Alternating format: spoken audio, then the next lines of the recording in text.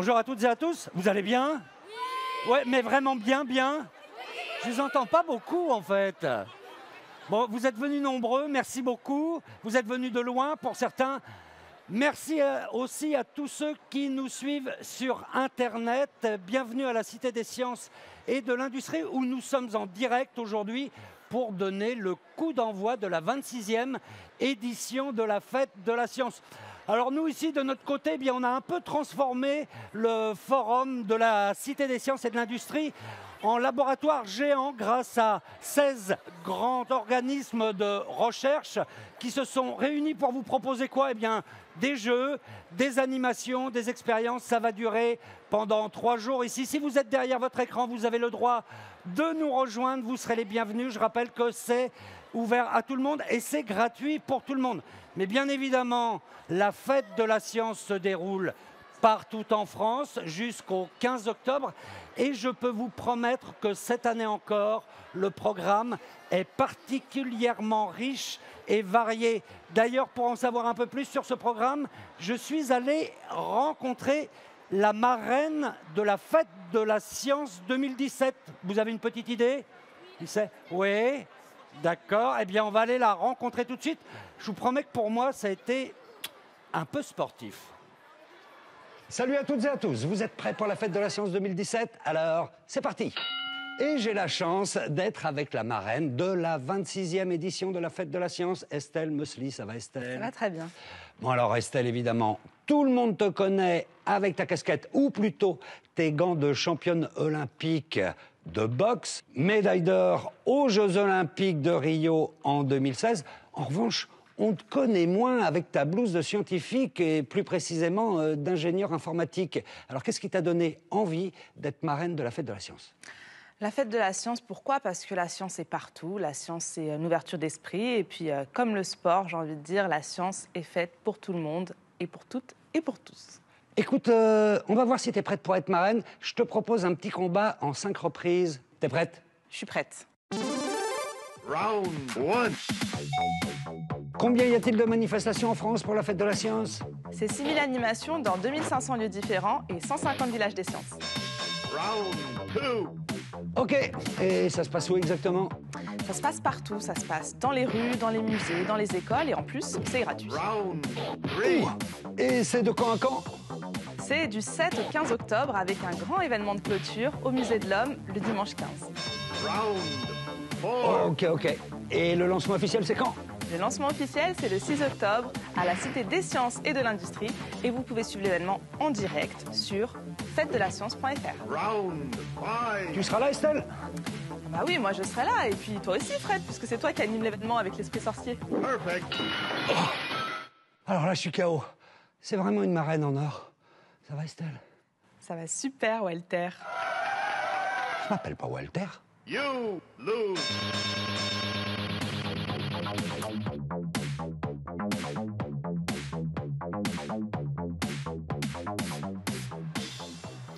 Voilà, elle a été gentille, Estelle, hein, quand même. Elle m'a assez bien épargné. Alors, si vous voulez connaître toutes les manifestations qui se passent près de chez vous, n'hésitez pas, vous allez sur fête-de-la-science.fr et vous saurez tout pour les festivités. Et nous avons aussi le plaisir et l'honneur d'avoir des invités aujourd'hui. J'appelle tout de suite une ministre que je vous demande d'accueillir, Madame Frédérique Vidal qui est ministre, je vous le rappelle, mais vous le savez, de l'enseignement supérieur, de la recherche et de l'innovation. Bonjour Madame la ministre. Installez-vous ici si vous voulez bien. Nous avons également avec nous une scientifique et sportive de haut niveau que vous venez de découvrir, Estelle Mosley, vous la connaissez. Allez, je vais commencer par le titre qu'on connaît moins. Elle est ingénieure en informatique et bien évidemment, vous savez qu'elle est championne olympique de boxe, qu'elle a eu une magnifique médaille d'or de boxe aux Jeux olympiques de Rio en 2016. Voilà, et donc cette année, c'est notre marraine de la fête de la science. Un petit applaudissement. Et des encouragements parce que c'est une grande responsabilité quand même. Hein. Et puis on accueille aussi le maître des lieux, qui nous reçoit aujourd'hui, c'est Monsieur Bruno Macquart. Venez nous rejoindre, Bruno. Vous êtes président d'Universcience Universion, je vous rappelle, ça regroupe la Cité des Sciences et le Palais de la Découverte. Merci de nous accueillir chez vous. Prenez un micro, chacun, voilà. Euh, Gardez-les dans l'ordre, parce que sinon, derrière, en régie, vont être un petit peu perdus. Voilà. Merci beaucoup, euh, Bruno Macaire, de nous accueillir. L'année dernière, on était déjà chez vous, donc on se sent très bien, finalement. On est de retour cette année. Euh, comme je le disais tout à l'heure, ici, on a déployé un petit peu notre barnum scientifique. Il y a plein de manips qui vont se faire, plein d'expériences, mais bien évidemment, la fête de la science, c'est à tous les étages de la cité. C'est à tous les étages, depuis d'ailleurs euh, les extérieurs, puisque on a des moutons, on a des poules, on pourra en reparler tout à l'heure, qui accueillent euh, Il y a une ferme des dehors. Il y a une ferme dehors, effectivement. Il y a beaucoup de choses dedans euh, qui vont de la de la pesanteur sur la Lune. On va pouvoir Ouais. se prendre pour un cosmonaute, jusqu'à une ferme d'escargots, voir des chauves-souris, et puis aussi beaucoup beaucoup de d'expériences amusantes amenées par les organismes de recherche et puis par beaucoup d'associations. Donc c'est euh, le moment d'en profiter. On est tous là pour vous, réunis euh, sur trois étages pour trois jours. euh, Il y a un village numérique. Il y a un village numérique, puisque l'époque qu'on vit, ben, vous avez tous des portables. Euh, avec les portables, on peut faire plein de choses d'autres que ce que vous faites. Et le numérique, ça nous offre beaucoup de joie. Et donc, vous allez pouvoir peindre en trois dimensions avec un casque Ouais, sur il y la a tête. de la peinture en 3D. Voilà. Donc, voir tout ce que le monde d'aujourd'hui va vous permettre de faire, parce que c'est vous qui allez créer, c'est vous qui allez diriger euh, le monde demain. Et donc, euh, on est là pour vous le et faire devenir aussi des artistes euh, grâce au numérique. Alors vous citiez les poules, les moutons, il y a des escargots aussi qui sont là dans un, un- un- un mini parc d'attractions. Voilà, parce que la science, c'est aussi prendre son temps. Alors, on, on a d'ailleurs mis les escargots euh, à l'honneur, puisque finalement, les escargots nous apprennent euh, le temps long. Il faut aussi savoir de temps en temps se poser, aller doucement, Voilà. regarder à gauche, regarder à droite. Voilà, c'est un petit exemple, un petit clin d'œil. Les escargots sont parmi nous aujourd'hui. On parle de ce qui se passe à la Cité des Sciences, mais il y a aussi le Palais de la Découverte en plein centre de Paris, où là on aborde aussi beaucoup des sujets sur l'environnement. Il y aura le- euh, toute, toute une thématique autour du voilier Energy Observer. Exactement. euh, un voilier, on va dire, nouvelle génération. Euh, vous avez derrière vous un, un grand avion qui marche à l'énergie solaire.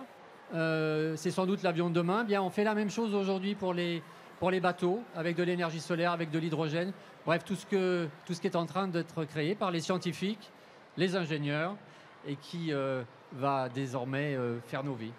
Alors là, c'est pas la fête de la science, mais évidemment, chez vous, la fête, c'est un petit peu toute l'année quand même. Vous avez peut-être quelques mots à nous dire sur des grandes expositions, des grandes manifestations qui vont se, se passer chez vous? Mais tout à fait. Alors nous ouvrons dans quelques jours, vraiment quelques jours, une grande exposition sur les effets spéciaux au cinéma qui vont vous permettre de faire vous-même euh, des effets spéciaux euh, et d'être l'acteur euh, de votre propre bande-annonce.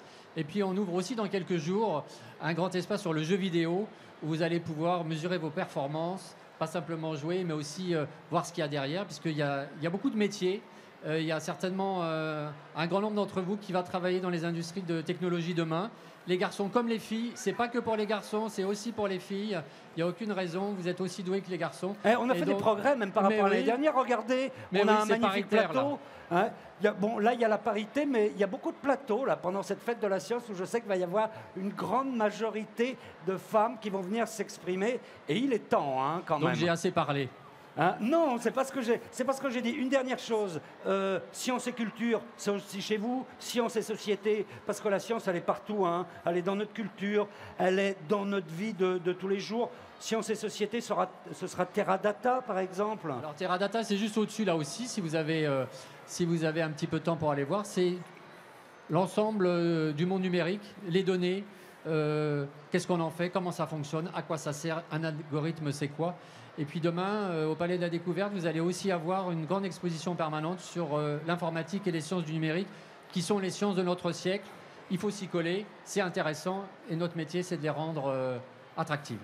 Voilà, donc un grand programme à suivre. Moi, j'aimerais faire un petit tour de table avec vous, si vous le permettez, parce que tout le monde ne vous connaît pas forcément parfaitement bien. Et moi, j'aimerais que vous me parliez un peu plus personnellement de vos parcours de sciences. Parce que vous êtes aujourd'hui président d'Univers Sciences, mais vous avez fait des études d'agronome, vous êtes ingénieur agronome, ensuite vous avez fait l'ENA, etc. Qu'est-ce qui vous a donné à vous, d'abord, le goût des sciences? Ah, Vous savez, il y a be- beaucoup tient à la famille. hein. Euh, mon père euh, avait fait ces études-là, mon oncle aussi, et donc j'ai été élevé dans dans le goût des choses intéressantes et dans le goût des belles choses. J'ai eu de la chance. Mon père m'a beaucoup fait euh, visiter de choses. Je suis venu avec lui ici, parce que ça a ouvert il y a 30 ans. Et voilà, c'est le début d'une aventure. Après ça, on se construit tout seul. Euh, et puis on rencontre des gens euh, qui vous donnent le goût de la vie, qui vous donnent le goût de l'aventure. Et j'ai le formidable honneur de servir cette maison, ses équipes, ses projets, sous l'autorité de Madame la Ministre de la Recherche, de l'enseignement supérieur et de l'innovation, parce que nous sommes un établissement de l'État. Et donc nous servons aussi à diffuser la culture scientifique, à encourager les filles à faire des études scientifiques, à encourager la culture française à l'extérieur et à montrer que la science, elle a sa place ici. Nous sommes la maison des chercheurs français. C'est d'ailleurs pour ça que les grands organismes hein. sont là. Ouais, des chercheurs et des chercheuses. Et des chercheurs et des chercheuses. Sur trois chercheurs, il y en a un seul qui est une femme dans ce pays. Il faut que ça change, Madame la Ministre. Il faut qu'un brève échéance, un jour, on arrive à avoir autant de femmes que d'hommes qui cherchent parce que c'est un formidable gâchis pour notre société. Les filles, engagez-vous. Ça vous a apporté quoi et ça vous apporte quoi encore les, sciences dans, votre quotidien, Bruno Macquart bah Vous savez, les sciences, c'est pratique d'abord, parce que si on ne serait pas là s'il n'y avait pas eu des générations de scientifiques, des générations d'ingénieurs. Euh, ils nous ont aidés à mieux vivre, euh, à mieux nous nourrir, à vivre plus longtemps, à nous déplacer et avoir accès à la connaissance. Donc euh, la science aujourd'hui, elle est dans nos poches, elle est dans nos vies, et c'est un grand cadeau que, que nous fait la vie. C'est marrant parce que vous avez un point commun tous les trois, c'est que vous avez vous avez un peu deux métiers en même temps. Euh, vous êtes à la fois scientifique, ou deux parcours en même temps scientifiques, et puis vous avez d'autres responsabilités à côté. C'est intéressant, ça doit montrer quand même que les sciences peuvent mener à tout. Justement, Madame la, ministre, vous, vous êtes d'abord une femme, vous êtes ministre depuis le mois de mai dernier, mais vous êtes d'abord une femme de science. Vous avez fait des, des études, vous étiez dans, vous êtes encore dans les sciences du vivant, vous avez fait des études de biochimie. C'est un mot qui est un petit peu compliqué, ça. Qu'est-ce que c'est la biochimie? Non, c'est pas, c'est pas compliqué. C'est en quoi euh, les molécules chimiques participent euh, au vivant et à la vie? Donc voilà, c'est ça qu'on apprend quand on fait des études de biochimie. Et alors, euh, vous avez fait une thèse, j'ai lu, vous pouvez nous parler de la division cellulaire durant le développement précoce de l'embryon des souris? Vous avez 30 secondes. En fait, mon, sujet. C'était votre sujet de doctorat. Oui, hein absolument, absolument. Bah, la question qui se posait à l'époque, euh, c'était de savoir euh, si pendant toute la vie d'une cellule, et notamment euh, quand elle se divisait ou quand elle ne se divisait pas, les choses se passaient de la même façon à l'intérieur de la cellule, sur des aspects biochimiques. Et donc voilà, c'est c'était mon sujet de thèse, mon sujet d'étude. On se rend compte que les sciences, à un moment donné, deviennent de plus en plus pointues et à ce moment-là, sans doute aussi de plus en plus euh, passionnantes. Alors, donc, ensuite, vous avez eu un doctorat en sciences de la vie.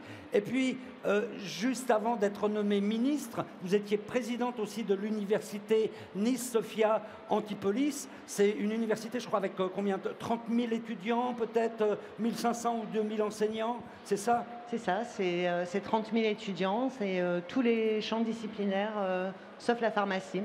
C'est un bel endroit pour faire aimer les sciences. C'est magnifique. Et notamment la faculté des sciences, qui est dans un immense parc, qui est un parc classé, dans lequel il y a un château classé, et qui tous les ans se transforme en village des sciences. Et l'année dernière, euh, j'y étais et, je recevais. Euh, ils sont sans vous, mais ça se passe aussi. Mais ça continue, bien sûr, bien sûr. Personne n'est irremplaçable. D'accord.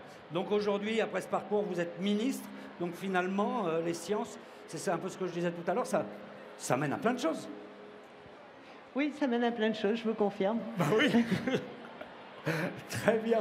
Je suppose que depuis que vous êtes ministre, vous n'avez plus le temps de regarder les sports et la boxe à la télévision euh, Avant, d'être ministre, j'ai eu l'occasion de le faire. Donc euh, je suis vraiment ravie que nous ayons cette marraine cette année. Super. Bon, on a une très belle marraine médaillée d'or, une, marraine en or, comme on dit euh, aujourd'hui. Estelle, ça vous fait quoi d'être ici parmi nous? Parce que je ne veux pas vous mettre la pression, vous avez l'habitude de la pression. Mais euh, c'est quand même une responsabilité, parce que quelque part, vous êtes un peu la, marraine de cette promotion 2017 de ces scientifiques en herbe. Ah, exactement, mais c'est une belle responsabilité, j'ai envie de dire. Hein. Euh, parce que ça me fait plaisir de, transmettre mes messages, de dire que la science, c'est fait pour tout le monde, et que c'est pas parce qu'on est dans les filières scientifiques qu'on s'intéresse à la science, on ne peut pas faire des choses qui n'ont absolument euh, rien à voir à premier abord, mais, euh, mais pourtant il y a aussi un peu de science dans le sport. Hein, mais ah bah, en tout cas, moi je suis sportive et je suis ingénieure. les deux ont été compatibles pour moi, donc les deux peuvent être compatibles pour tout le monde. Et, oui, il y a de la science dans le sport. Ok, on va parler davantage de votre casquette de scientifique aujourd'hui parce que vous avez fait une école d'ingénieur, l'école d'ingénieur Léonard de Vinci qui est à la Défense, hein, à côté de, euh, de Paris. C'est ça, vous êtes diplômé de cette école. Vous, qu'est-ce qui vous a engagé dans les sciences? Moi, j'ai découvert les sciences euh, depuis toute petite. Hein. Je suis baignée dans les sciences puisque mes parents ont fait des études euh, scientifiques, hein, ingénieurs tous les deux, docteurs pour mon père. Et, et, depuis, depuis très jeune, j'ai été attirée par, par les nouvelles technologies, par comment, comment fonctionnaient les, circuits intégrés, tout ce genre de choses. Et, et très vite, moi, j'ai vu que vous étiez biochimiste. avant, de vouloir être, avant de vouloir me tourner vers l'informatique, je voulais être biochimiste. Ah aussi? J'ai pas voulu faire 36 choses. Au début, j'ai voulu être pâtissière, rien à voir, parce que je faisais beaucoup de, cuisine avec ma maman. Et ensuite, euh, quand je me suis dit, finalement, les sciences, ça m'intéresse pas mal, j'ai voulu être biochimiste. C'est ouais, presque pareil, c'est vrai. On trouve beaucoup de biochimie dans, la pâtisserie. Et, euh, et puis euh, maintenant, je vous vois tous avec des téléphones, mais c'est vrai qu'il y, a 10 ans, il y a 15 ans, ça commençait tout juste à, sortir, les téléphones portables. Et puis là, j'ai commencé à me dire, oui, pourquoi pas les nouvelles technologies, l'informatique, c'est quelque chose qui était très en vogue. Et puis c'est quelque chose qui était amené à se développer énormément et ça m'a intéressé. Et là, j'ai décidé de faire des études dedans et la boxe en même temps. La question qu'on se pose, parce que c'est de la boxe à très haut niveau, évidemment. Donc quand on fait du sport à très haut niveau, c'est beaucoup de temps, c'est beaucoup de travail. C'est beaucoup de temps, oui. C'est beaucoup de travail de, de, faire du sport à haut niveau, de viser un titre olympique. C'est beaucoup de travail. Mais euh, j'ai toujours eu à cœur de faire euh, les choses que j'aimais. Donc euh, je pense que c'est ça aussi qui m'a motivée, qui m'a poussée à, travailler, à continuer à m'entraîner et puis à continuer dans mes études, à persévérer pour obtenir mon diplôme.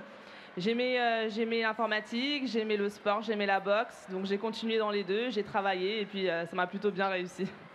D'accord. Et, parfois une préférence pour l'un ou pour l'autre, ou en donnant une priorité à l'un ou l'autre Non, pas de euh, préférence pour l'un ou pour l'autre. J'aime beaucoup les deux. c'est pour ça que j'ai jamais délaissé l'un ou l'autre. Mais c'est vrai que tout au long, tout au long d'une année ou même de plusieurs années, c'est quatre ans pour préparer les Jeux il arrive qu'à certaines périodes, on favorise plus l'un ou l'autre. C'est vrai qu'à l'approche des Jeux Olympiques, bah, il fallait que je m'entraîne, il fallait que je me prépare, donc j'étais plus au sport. Et puis euh, quand c'était les examens à la fin de l'année, euh, il fallait que j'assure et que je passe euh, l'année suivante. Donc j'étais plus à l'école en train de bosser mes examens. C'est un bon message hein, à passer. Ça veut dire que finalement, bon, c'est vrai que ça demande un peu de travail ou même beaucoup de travail, mais on peut faire deux passions.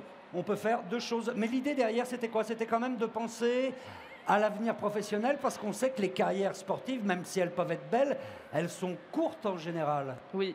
Euh, j'ai dit oui, le sport, oui, le sport c'est culturel pour moi, c'est quelque chose de nécessaire au développement, donc j'ai fait le sport, mais euh, le sport de haut niveau, c'est pas toute la vie. Euh, Aujourd'hui, je me pose la question sur la suite euh, au niveau du sport. Si je continue, on va dire que ça sera peut-être jusqu'à 2020, mais euh, qu'est-ce que je vais faire après? Et pour moi, c'était essentiel euh, dès mon plus jeune âge de, de penser à l'après. mes parents m'ont conditionné à ça. Non, mais c'est important, c'est vrai. Et, c'est vrai que tout de suite, j'ai eu envie, j'ai pas eu envie de perdre de temps et j'ai eu envie de, de, faire ça tant que j'étais dedans, tant que j'étais dans, dans, le milieu scolaire, de continuer de poursuivre pour avoir une sécurité après le sport. D'accord. Vous aurez l'occasion de répondre à d'autres questions tout à l'heure parce que je sais que vous avez des questions dans le public et elles vont venir. Donc vous, vous aurez l'occasion de répondre à d'autres questions sur votre parcours euh, scientifique et sur votre parcours euh, sportif. Je voudrais qu'on aborde quand même, même assez rapidement, un autre combat que vous menez, un de plus. Vous avez créé l'Observatoire européen des, euh, du sport féminin. Du sport féminin. Du sport féminin. Dans quel but? C'est pour euh, défendre un peu la, place des femmes dans le sport? Oui, oui j'ai créé l'Observatoire européen du sport féminin parce que, euh, à la suite des Jeux Olympiques, je me suis posé euh, plusieurs questions et j'avais envie d'agir dans le sport parce que je le connais par cœur et, je connais très bien tout, ce que, tout ce que comporte le sport et tout ce que comporte le sport dans le milieu féminin. Et euh, j'ai eu envie de faire des choses pour, euh, pour les filles qui pratiquent le sport. Euh, c'est des contraintes un peu différentes que celles, que celles des garçons. Et, moi, le connaissant très bien, ayant évolué dans une équipe féminine, j'ai eu envie de, d'apporter un soutien aux futures championnes, aux sportives, un soutien dans tous les domaines, quand elles décident de fonder leur famille, quand elles décident de, de, de, reprendre leurs études, et puis après le, après le sport, quand elles souhaitent se diriger vers un métier. D'accord, on pourrait presque faire rapidement un petit, un petit parallèle aussi avec les femmes en sciences. vous pourriez élargir votre, euh, votre observatoire. On a presque les mêmes problématiques euh, dans le sport pour les femmes et, dans le milieu des entreprises, dans, les sciences. Euh, et c'est un grand message qu'on passe tous aujourd'hui, j'ai envie de dire. Hein. c'est tout, le monde, tout le monde peut se diriger vers les sciences, toutes les filles, tous les garçons. Les sciences sont partout et les sciences sont faites pour tout le monde. Très bien, les sciences sont faites pour tout le monde. Qu'est-ce que vous faites, Bruno Macar, justement, pour que la Cité des Sciences soit un lieu ouvert à tout le monde Et bien évidemment, en particulier aux jeunes?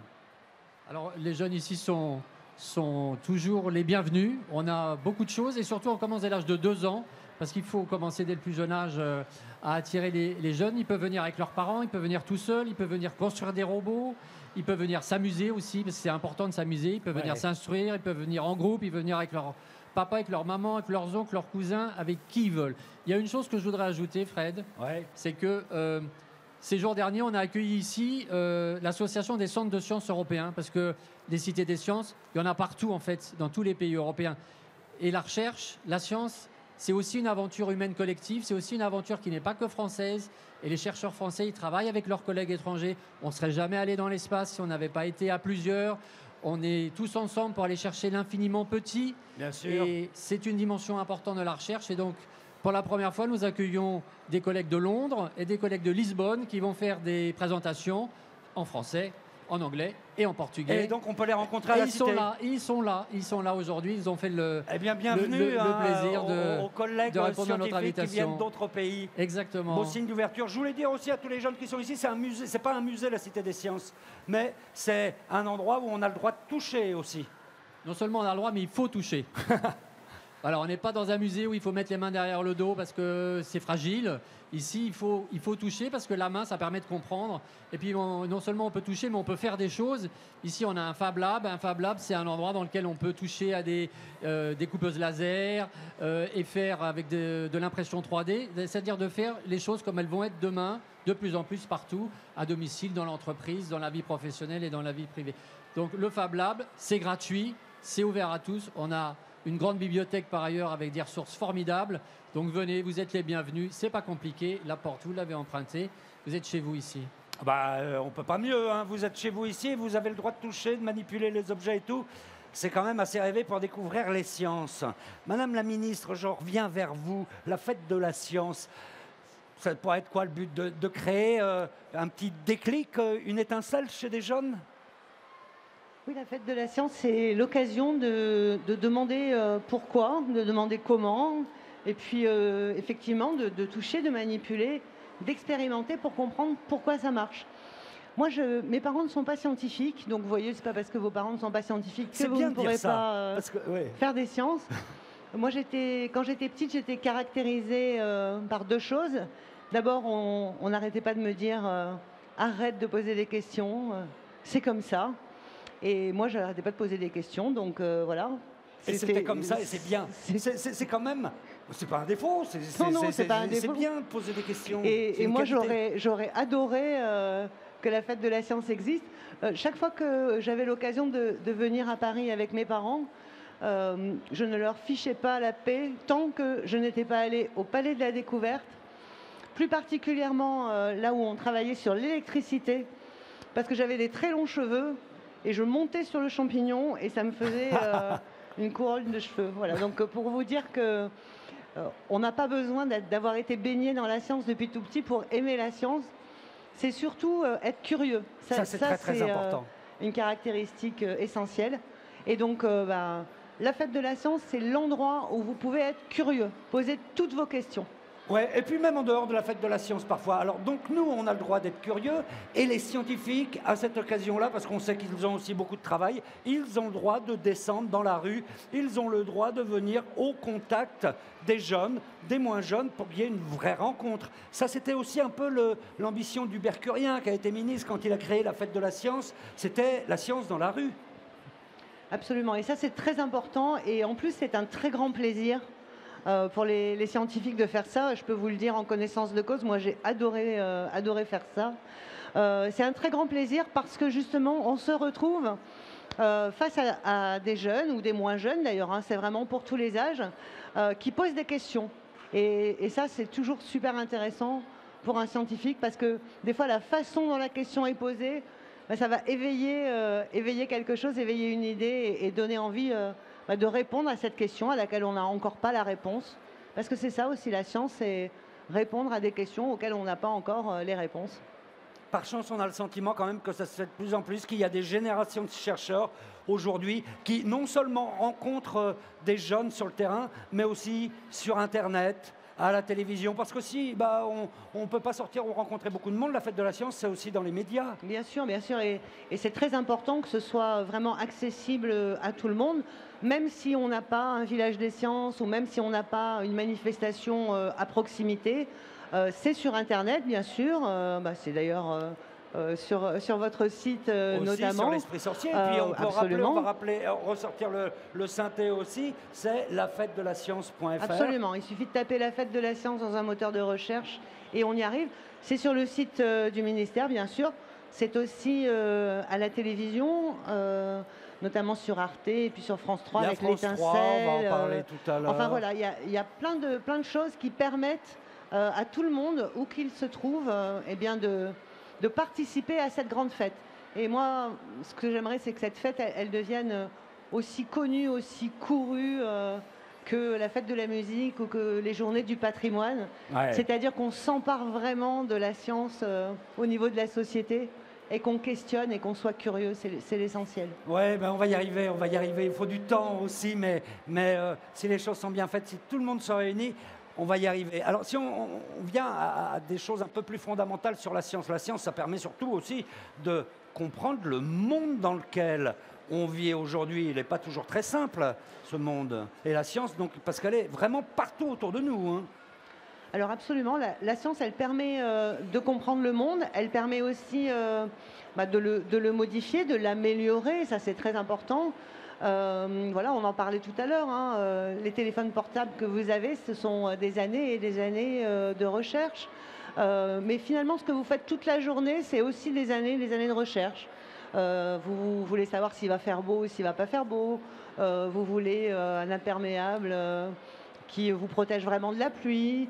Tout ça, derrière, il y a des gens qui se sont posés des questions et qui ont essayé d'améliorer les choses et de trouver des solutions.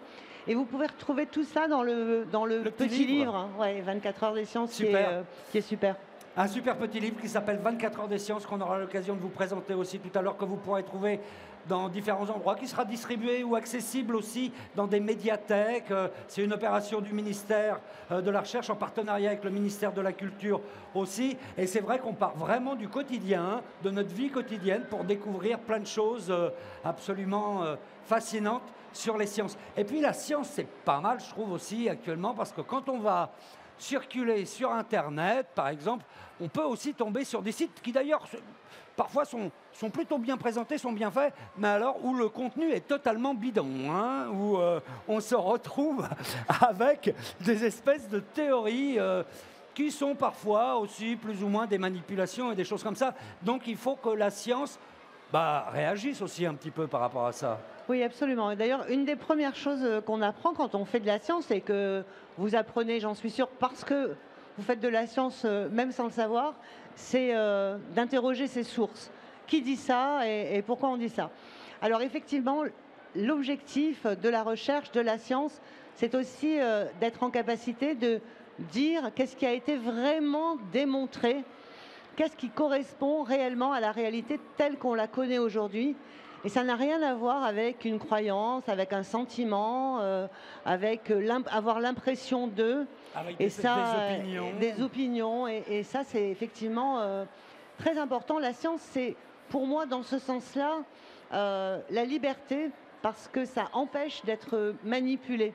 Et ça, c'est extrêmement important, d'avoir cette capacité de comprendre pour ne pas être manipulable. Absolument. Ça, c'est quelque chose qui est très important parce que vous, souvent, vous êtes amenés à aller sur Internet, tous les élèves, pour aller chercher des infos. Vérifiez bien ce que vous allez chercher. C'est aussi quelque chose qui doit faire partie de, l'éducation pour pas tomber sur n'importe quoi. Et puis en même temps, les scientifiques ne disent pas on a absolument raison. Ils vous donnent des faits pour vous dire bah voilà ce qu'on sait aujourd'hui. Ça, on peut vous le dire parce qu'on le sait. Mais la science, elle évolue aussi. Puis peut-être que demain, on en saura un peu plus. Parfois, on peut changer de voie aussi. Ça évolue en permanence, la science, mais au moins, ça se base sur des faits. Absolument, ça se base toujours sur des faits. Euh, ça questionne en permanence et ça remet en question en permanence euh, les choses que l'on sait. La science, c'est beaucoup de patience aussi. Hein, si on pense, euh, voilà, en, 1916, alors ça doit vous paraître extrêmement loin, mais à moi aussi, hein, Albert Einstein, dont je pense que vous avez tous entendu parler, théoriquement a prédit que on devrait observer ce qu'on appelle des ondes gravitationnelles. C'est la trace de la naissance euh, de l'univers. Et il a fallu attendre 2015, donc 99 ans, pour vraiment voir ces traces et pour finalement euh, démontrer qu'il avait raison. Donc la science, ça ne s'arrête euh, jamais, ça se questionne toujours. Et puis c'est une, source permanente de, d'interrogation et on veut toujours en savoir plus. C'est une passion, hein, évidemment, vous vous en doutez pour que euh, pendant autant d'années, les gens continuent à interroger, à questionner la même chose, c'est que c'est une passion.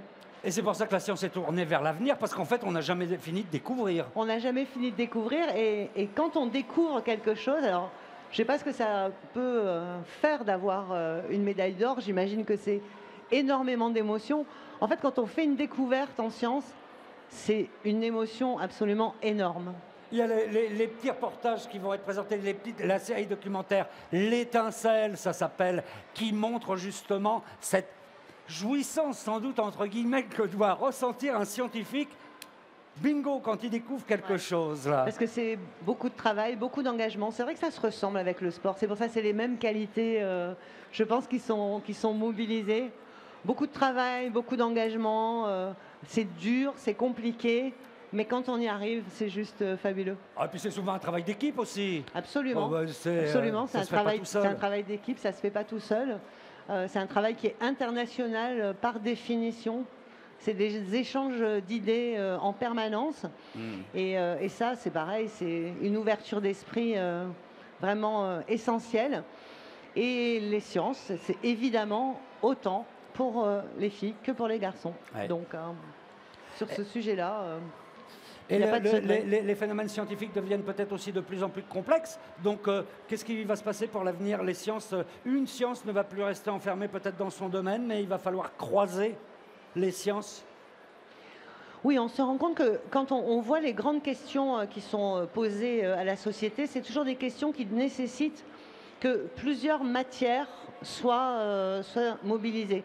Donc, par exemple, quand vous parlez du changement climatique et de ce que ça fait le fait que le climat change, eh bien évidemment, euh, on a besoin de gens qui étudient le climat, mais on a aussi besoin de gens qui euh, vont dans l'espace et qui envoient des satellites pour observer la Terre. On a besoin de biologistes, bien sûr, qui regardent quel va être l'impact sur le vivant. Euh, on a besoin de sociologues qui nous expliquent comment les populations vont devoir modifier leur comportement pour, pour vivre des anthropologues qui regardent aussi quels vont être les impacts des changements climatiques.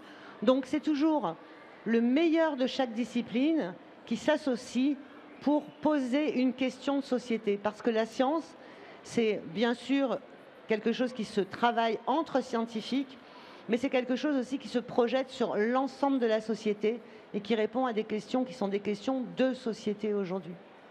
Très bien. Et, vous venez de dire, là, je note au passage, vous avez parlé de sociologie, aussi euh, d'ethnologie, de sciences dont peut-être malheureusement on, a moins souvent parlé, qui sont à part entière des sciences. À partir du moment où on fait de la recherche, où on va fouiller des choses, quand on fait de l'histoire aussi, on fait de la science. Bien sûr, c'est très important. Hein. quand, on parle de science, bien sûr, euh, il y a la science liée aux aspects techniques, technologiques, euh, etc mais il y a tout ce qui contribue à apporter de la connaissance et qui contribue à mieux connaître le monde, c'est ce que vous disiez.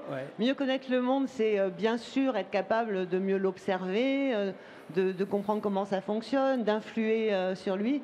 Mais pour ça, on a aussi évidemment besoin de réflexion, de philosophie, de sciences humaines et sociales. Et pour moi, les sciences, c'est vraiment un ensemble. C'est un ensemble, et vous l'avez dit, les sciences doivent s'intégrer complètement dans la société. Peut-être pour conclure, aussi euh, dire que bah, les sciences, c'est quoi? C'est le progrès de la société, c'est éviter de partir en marche arrière? Ah oui, bien sûr. Alors ça, c'est la, science a toujours fait progresser euh, l'humanité, et ça, c'est vraiment euh, un message qui est, essentiel. Et puis, c'est un, processus qui, de toutes les façons, ne peut aller que vers l'avant, puisque euh, les sciences servent à produire des connaissances, et donc on aura toujours plus de connaissances, et j'espère qu'on saura toujours en faire le meilleur usage. Voilà. En tout cas, on compte sur vous. Hein, ouais, bah oui, ça va jouer. Hein. C'est à votre tour de trouver votre passion, de trouver euh, qu'est-ce que vous avez envie d'étudier, de, regarder euh, à quel sujet vous vous demandez toujours plus pourquoi, toujours plus comment, et puis euh, bah, de participer. La, science participative, c'est aussi. quelque chose qui est essentiel. Et chaque, chaque personne dans la société, en observant, en disant ce qu'il a vu, eh bien, participe à la construction de la connaissance. L'envie, et le plaisir aussi, parce que quand on apprend des choses et quand on découvre des choses, bah, c'est un vrai plaisir. Et ça, c'est quelque chose bah, qu'on ne peut pas remplacer. C'est vraiment un, plaisir personnel. Donc, euh, donc ça, c'est essentiel aussi. Ah bah, ça, c'est le moteur. Hein, euh, voilà, quand euh, quand on, peut regarder en arrière et puis se dire que finalement, on ne s'est pas ennuyé une seule journée et qu'on a toujours pris du plaisir à, faire, à faire son métier. Euh, à chercher, à, trouver, à transmettre. Hein. C'est très important aussi, bien sûr. Eh bien, je crois que c'est le plus grand plaisir qu'on peut avoir dans la vie. Euh, on peut retenir une chose aussi de ce que vous avez dit. Madame la ministre vous encourage nettement, à être curieux et à poser toutes les questions que vous voulez. Merci à tous les enseignants qui sont là aussi aujourd'hui avec nous. Ils n'ont pas forcément le travail le plus facile parce qu'ils doivent parfois aussi répondre à des questions un peu pièges. Hein. Mais bon, euh, ça fait partie. Il n'y a, pas de questions pièges. on a le droit de dire qu'on ne sait pas, il faut juste aller chercher. Super. On a le droit de dire aussi, même quand on est enseignant, on a le droit de dire on ne sait pas, mais demain je reviens et j'essaye de t'apporter une meilleure réponse qui pourra t'éclairer le plus possible. Ça, c'est essentiel. Bien sûr, c'est essentiel. Bon, merci beaucoup d'avoir répondu à, ces questions. Vous. savez qu'on arrive là au lancement officiel. Donc, euh, bah, on va procéder au lancement officiel. Ensuite, vous répondrez à quelques questions du public. Est-ce que vous êtes prêts pour le lancement officiel? Ça va? On vous entend eh, Vous savez compter jusqu'à 10 en marche arrière? Bon, moi je sais le compter dans le bon sens, en marche arrière, je ne suis pas sûr, hein, encore. Hein. Bon, on est prêt en régie. On va procéder au lancement officiel de la fête de la science 2017. C'est parti. 7, 6, 5, 4.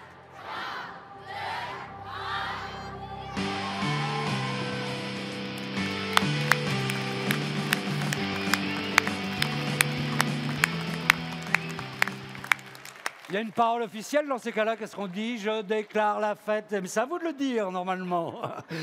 Moi, c'est à vous. Allez, c'est à la marraine. Nous déclarons la fête de la science ouverte. Bravo. Elodie, ça va, Elodie Moi, je suis entourée de curieux. Je suis hyper contente. Bon, alors, que se passe-t-il? Il y a des questions, je sais, qui sont remontées par les réseaux sociaux et qui remontent actuellement du public pour nos invités. Allons-y tout de suite et on a 10 minutes devant nous. Là, je suis avec Océane. Océane, tu es en quelle classe? Ah, on t'entend pas, Océane. Alors, Océane est en quatrième.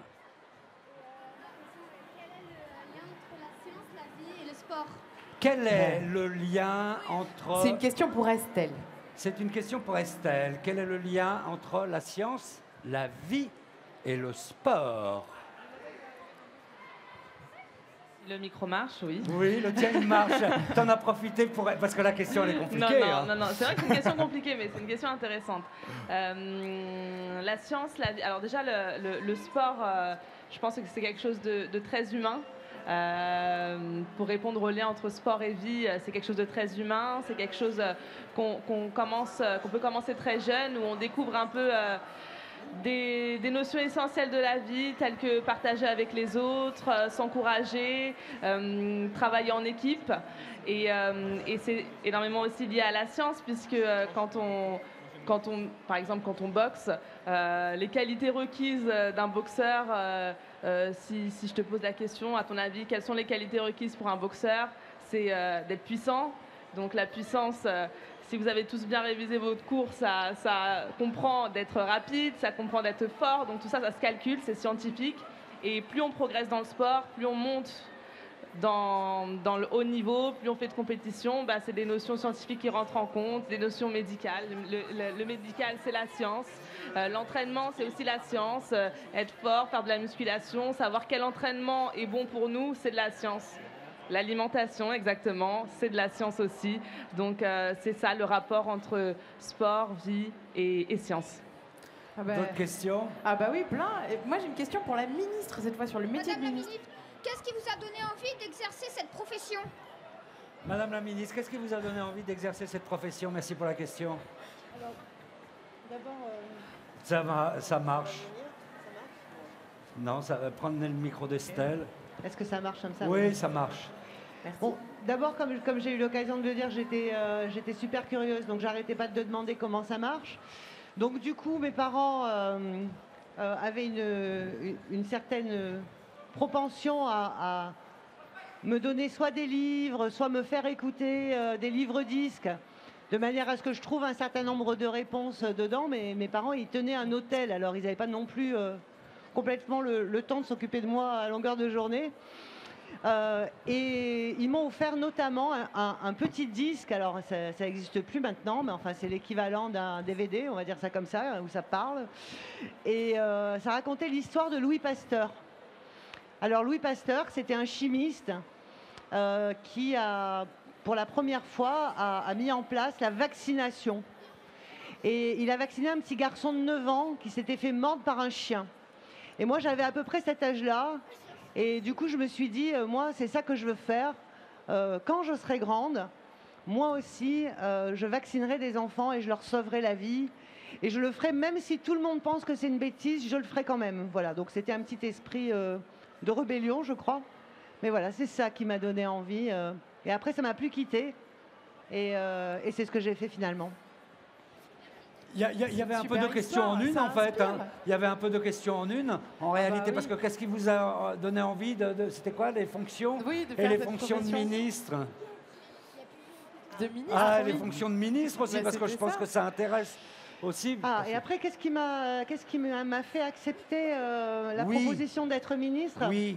Bah, je me suis dit que c'était une autre façon euh, d'aider euh, la recherche, d'aider l'enseignement supérieur de faciliter l'innovation que de prendre cette fonction de, ministre en, sachant ce dont avaient besoin les chercheurs, ce dont avaient besoin les enseignants-chercheurs. Et surtout, j'espère ne jamais l'oublier, parce que je pense que c'est essentiel. Ah et, voilà, c'est ce qui me porte en tout cas. Bah c'est contribuer d'une autre façon euh, à la production euh, de la science. C'est un prolongement ou c'est un complément Et à la transmission, ouais. Ouais, d'accord. Et vous êtes bien placé pour le faire parce que de toute façon, vous connaissez ce milieu par cœur, à la fois de l'enseignement et, et, de la recherche. Une autre question? Alors, on t'entend plus, Elodie. On m'entend plus. Ça y est, on t'entend. Ça y est. J'ai une question pour Estelle cette fois. Comment tu t'appelles euh, Aidan. Et t'es en quelle classe 5e E. Vas-y, c'est quoi ta question Ma question c'est est-ce que vous avez déjà eu et vous avez déjà eu un chaos est-ce que tu as, déjà été mis jamais eu de chaos, par chance. Je touche du bois, hein. j'espère que ne jamais en avoir, mais euh, j'ai déjà mis un, chaos quand même. C'est assez impressionnant. Et tu voulais pas savoir ce qui se passe quand on a un chaos? Euh, Si, je voulais savoir euh, quand vous avez un chaos, bah, qu'est-ce qui se passe? Vous Des douleurs ou des trucs comme ça.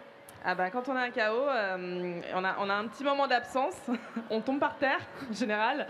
C'est pas, euh, c'est assez violent, euh, c'est dû à un coup en fait, et, et c'est vrai que c'est un petit moment d'absence ou et un petit moment d'inconscience où voilà, souvent on tombe par terre parce qu'on a ce petit moment d'inconscience.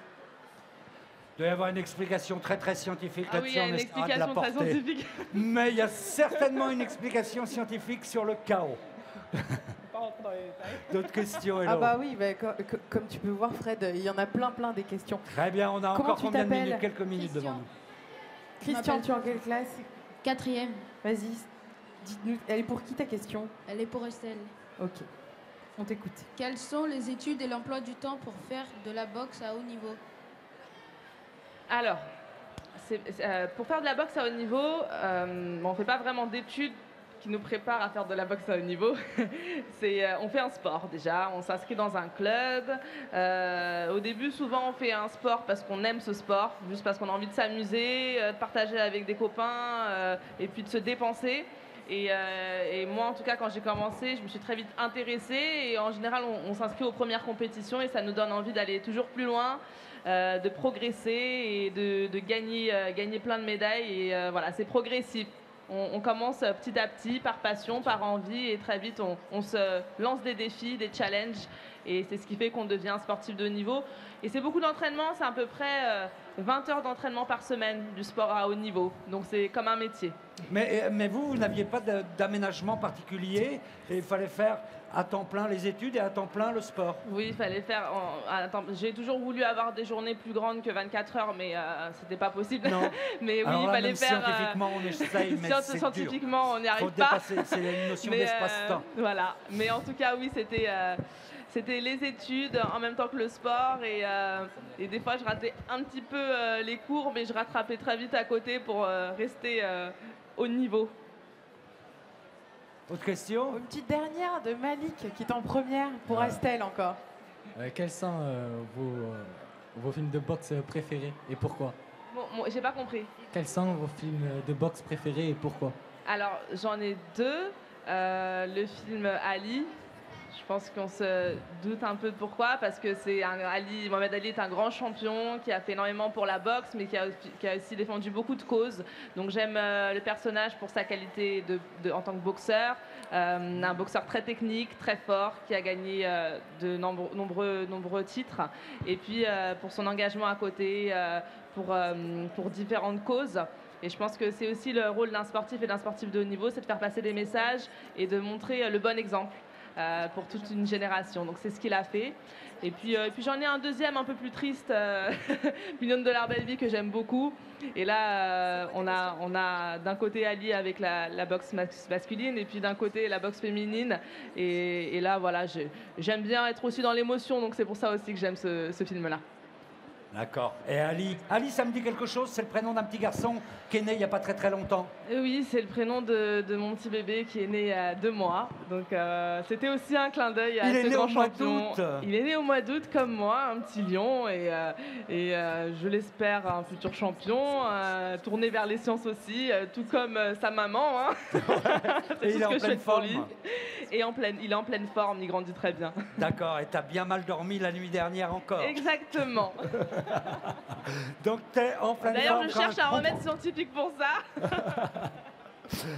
Très bien. Une dernière question. Une petite dernière Allez, question. Une petite dernière. Je crois qu'on en a une juste derrière moi qui me tape sur l'épaule pour poser sa question. Comment tu t'appelles? Je m'appelle Louison. Et tu es dans quelle classe, Louison? Eh oui.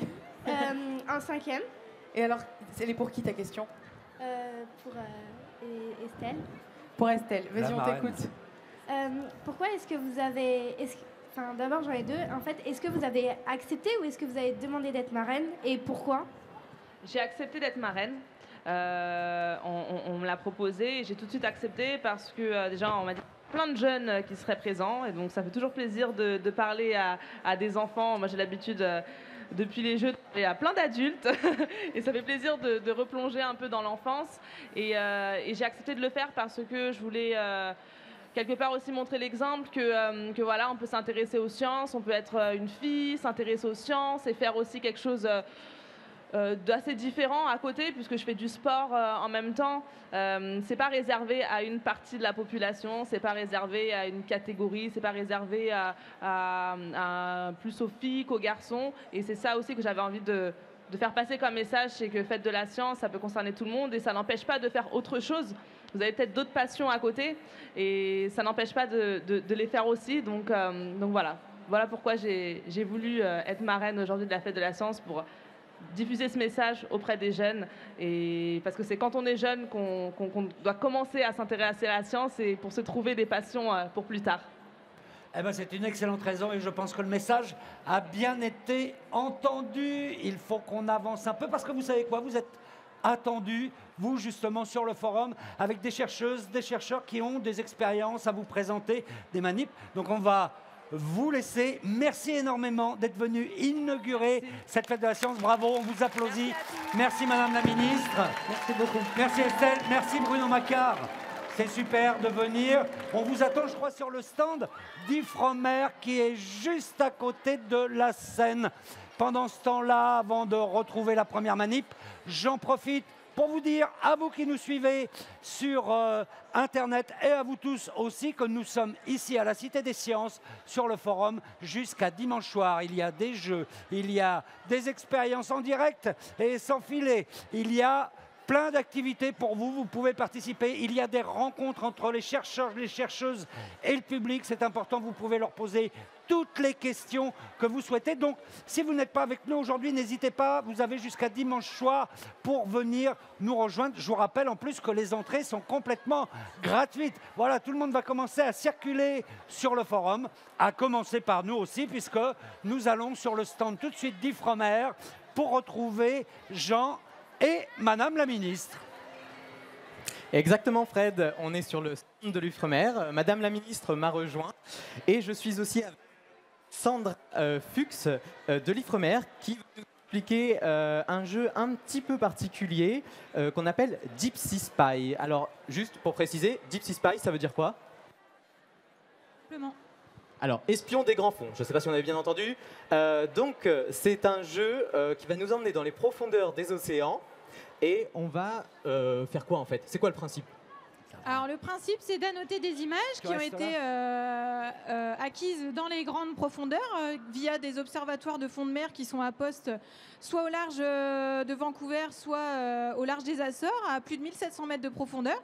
Et le principe du jeu, c'est qu'il faut que le grand public annote ces images et note surtout les petits animaux qui sont présents sur chaque photo. Donc ça peut être euh, des petits escargots, des crabes, euh, des poissons ou des vers marins encore.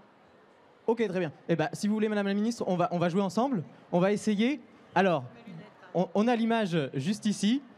Euh, on va regarder tout de suite dès qu'on aura la visibilité sur l'image. Hop.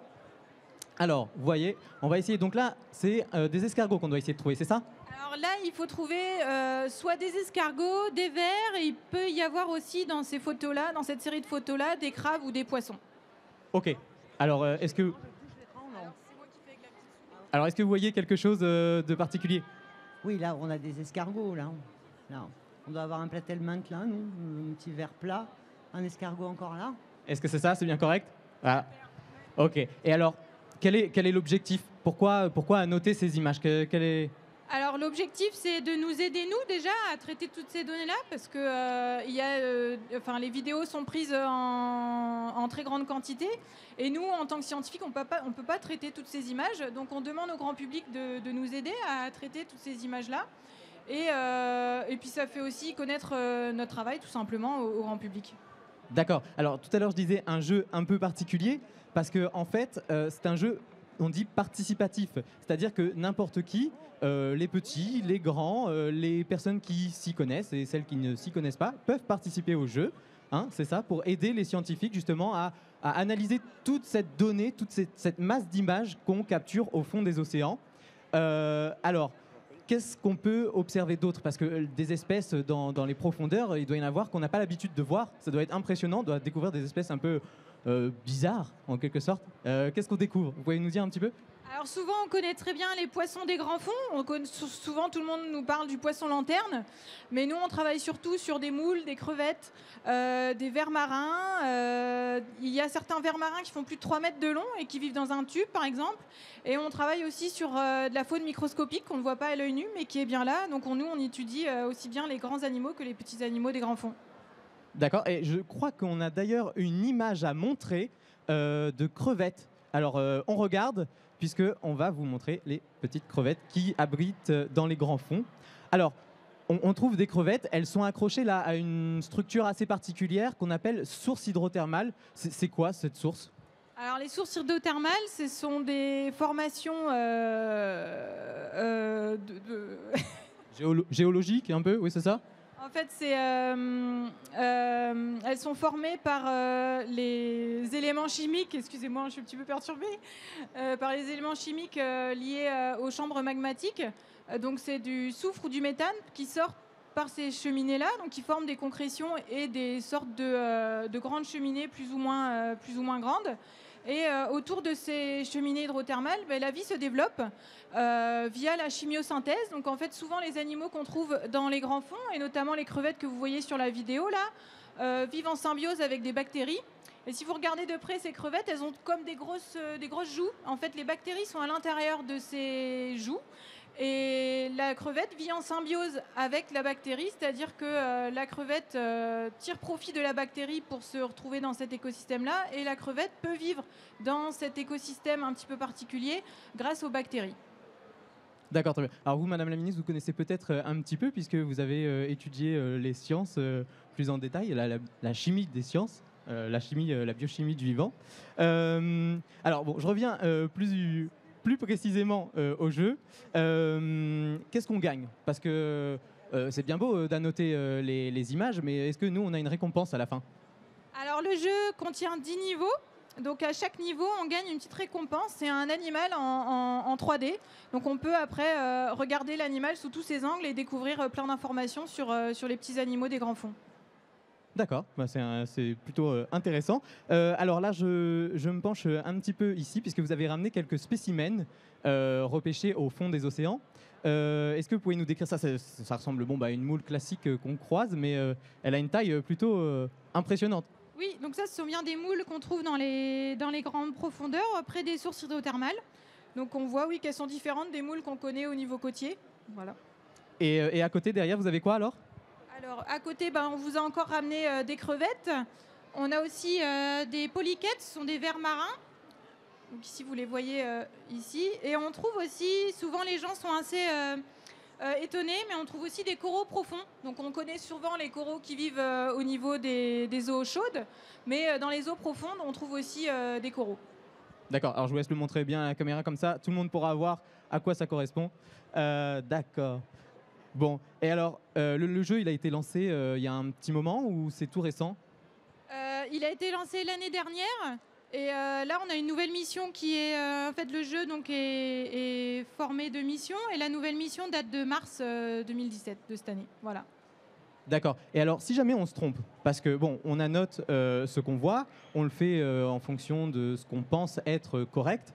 Et si jamais on, indique le mauvais animal ou la mauvaise taille, euh, comment vous faites pour pallier à ces erreurs euh, euh, du, public?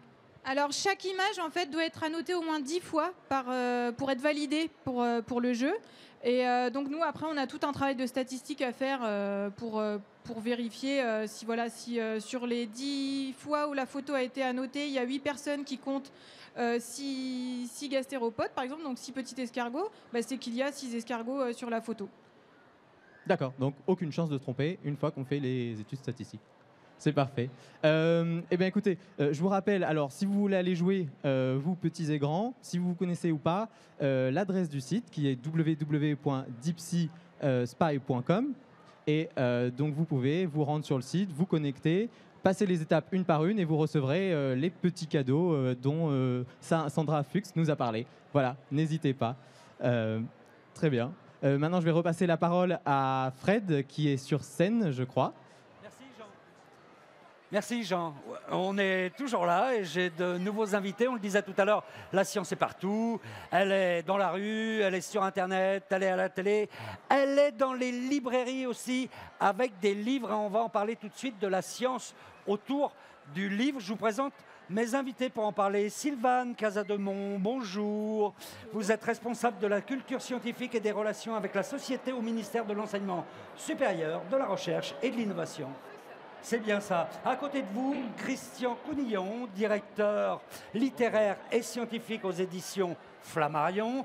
Et là, vous allez parler aussi un petit peu de du syndicat des éditeurs. Vous les représentez un petit peu. Et à côté de vous, euh, Thierry Claire, euh, vous êtes chef du bureau de la lecture publique au ministère de la Culture et de la Communication. Ça vous fait plaisir de vous retrouver tous les trois parce que, comme l'année dernière, en fait, vous êtes associés pour essayer de promouvoir les sciences à travers, j'allais dire la littérature, ça peut être un mot qui fait peur, à travers les livres, tout simplement. C'est ça, absolument. Et on a décidé d'ailleurs de faire une collection. L'an dernier, on avait fait un premier petit livre, 25 découvertes sur les 25 dernières années pour les 25 ans de la fête de la science. Voilà. Et comme il a bien marché, eh bien cette année, on, en a fait un deuxième qu'on va vous présenter. Et on l'a tiré avec encore euh, à, davantage d'exemplaires. Donc on espère continuer et avoir une bonne dizaine de livres, on va dire. Hein, comme les 24 heures des sciences, euh, l'année dernière, c'était parce que c'était le 25e anniversaire, 25 découvertes. Là, on a 24 heures de science. C'est vraiment la science dans notre quotidien, ce petit livre. Absolument. Faites-nous le pitch, comme on dit. Alors, le pitch, ben, c'est simple c'est six jeunes adultes euh, qui pourraient être euh, vous plus tard, là les enfants ou euh, les gens qui sont dans cette salle, et qui simplement se lèvent à 7 heures le matin, vont au travail, travaillent, se distraient, mangent, dorment, se demandent ce qu'ils vont faire pendant les vacances, et à chaque heure de la journée, ils ont une activité un peu différente. Ils, vivent en coloc. Ils vivent en coloc. Et ils vivent dans une maison en terre. Donc déjà là, on a de la science dans la maison en terre. Parce que c'est pas, vous ne vivez pas dans des maisons en terre, vous êtes dans des maisons en béton. Bon, mais il y a de la science aussi dans les maisons en béton. Voilà, alors il y a déjà de la science dans leur habitation et ensuite il y a de la science à travers tous les actes de la vie quotidienne. Ils se lèvent, ils regardent la météo, ils disent Ah, quel temps il va faire Ils sont encore trompés. Non, ils ne se sont pas trompés. Il pleut bien, il pleut. Qu'est-ce que c'est que la météo? Comment on prédit la météo? C'est des modèles mathématiques compliqués. Il y a de la science derrière.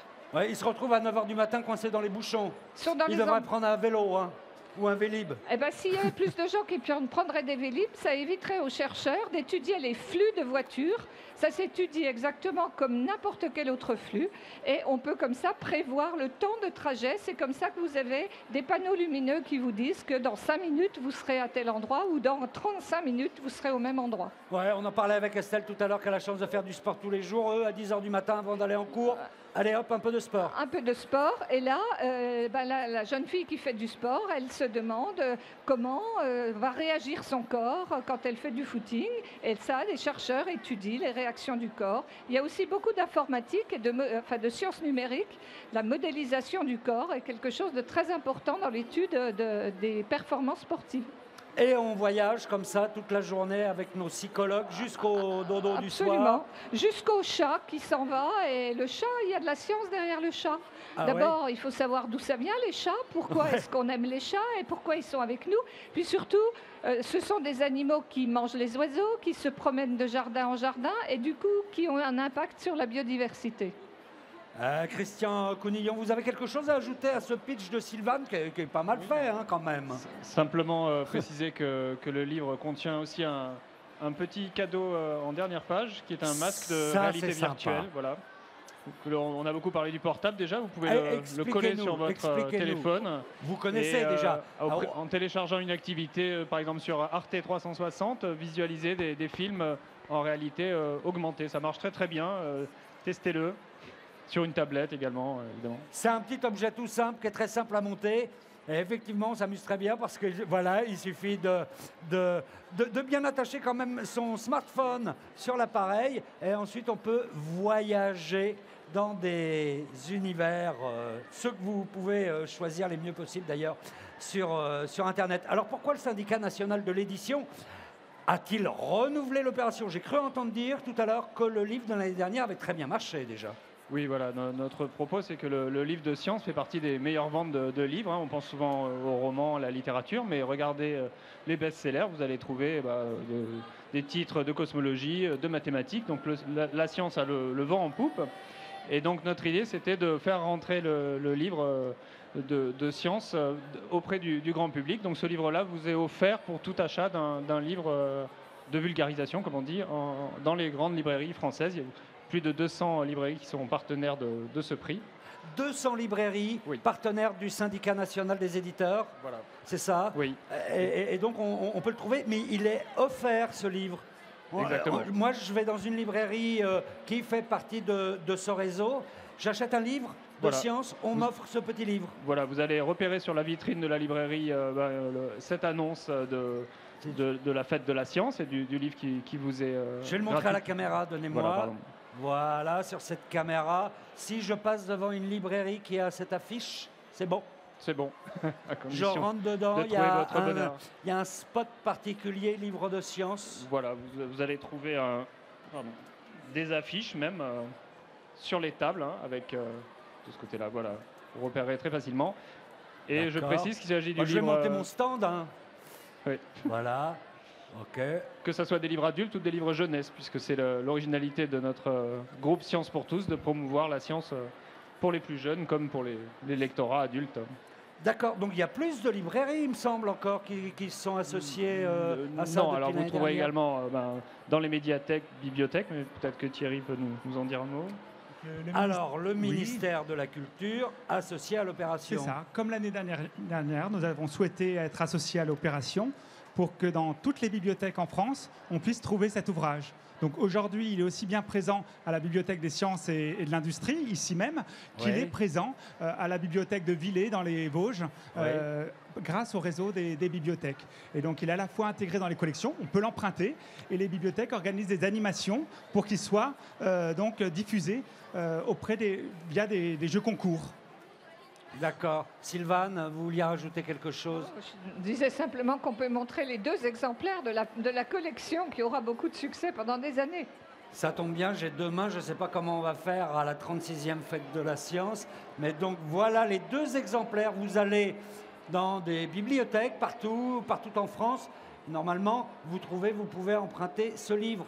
Hein, c'est bien ça, les médiatiques et les médiathèques? C'est ça. À la fois, vous pouvez l'emprunter, il y aura des animations où vous pouvez le recevoir gratuitement, comme en librairie.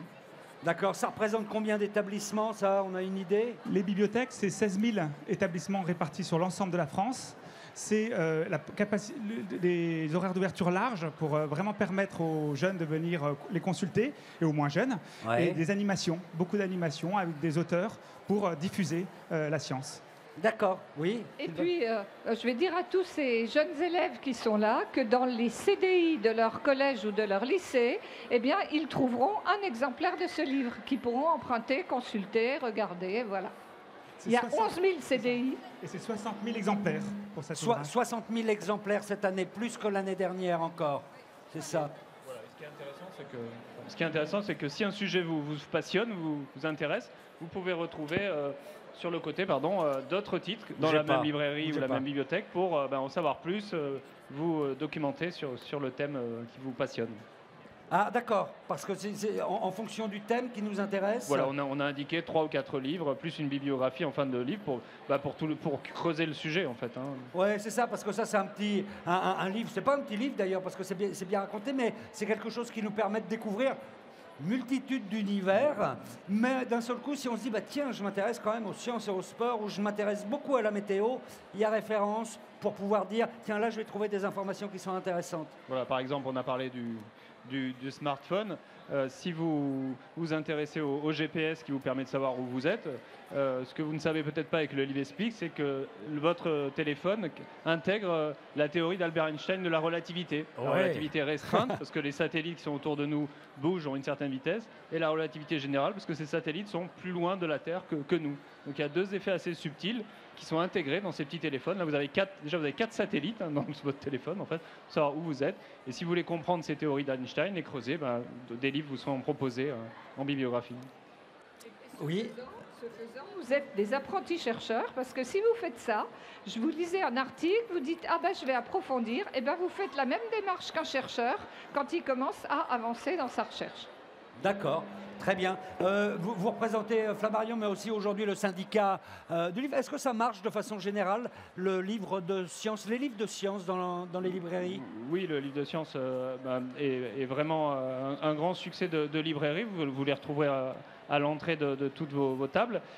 au Salon du Livre, nous organisons un cycle de conférences que je vous invite à, fréquenter pendant tout le, tout le week-end du, salon au mois de, mars prochain avec bah, les, auteurs de, nos livres en particulier et euh, un site internet euh, Science pour tous qui contient 3000 références avec toutes les, toutes les nouveautés et tout le, fond euh, des éditeurs. Donc c'est une sorte de bibliothèque virtuelle en ligne pour vous, vous y retrouver et, trouver votre bonheur pour le coup. Bon à savoir pour tous les passionnés ou ceux qui ont envie de découvrir les sciences, mais aussi pour les enseignants d'ailleurs, parce qu'on a de, de, toutes les ressources qui sont regroupées et ça fait plaisir d'avoir le ministère de la Culture aussi avec nous parce que C'est marrant, hein. pendant un, temps, on a considéré, on, pensait presque que les sciences ne faisaient pas partie de la culture. Alors qu'ils le font, hein, quand on interroge les Français. Euh, redites-moi ça.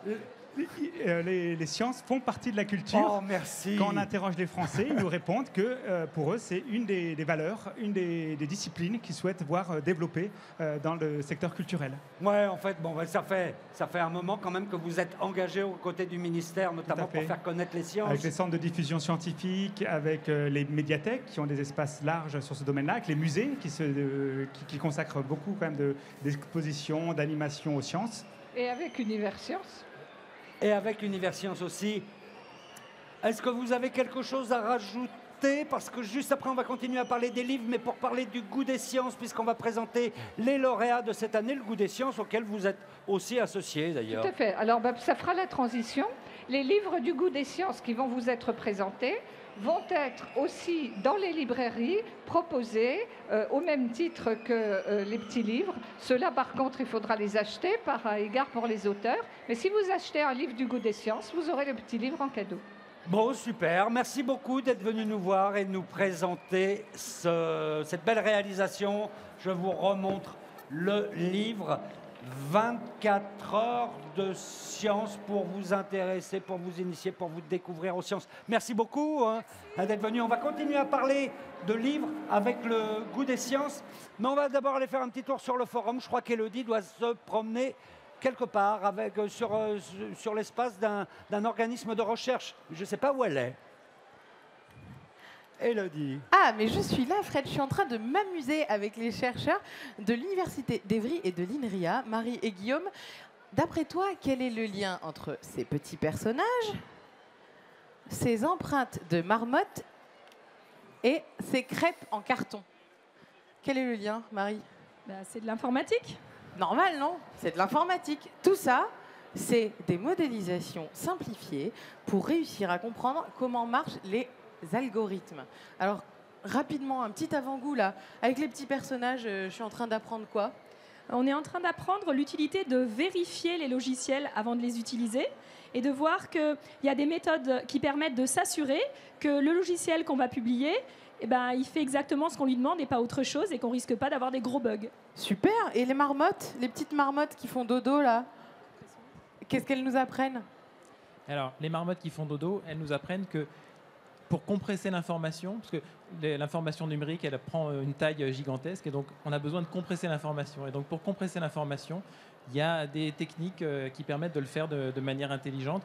Et on, le présente à travers de, marmottes, de manière à pas trop les réveiller pendant l'hiver. Alors, compresser l'information pour quelqu'un qui s'y connaît pas trop, en gros, c'est bien ranger les choses dans le disque dur.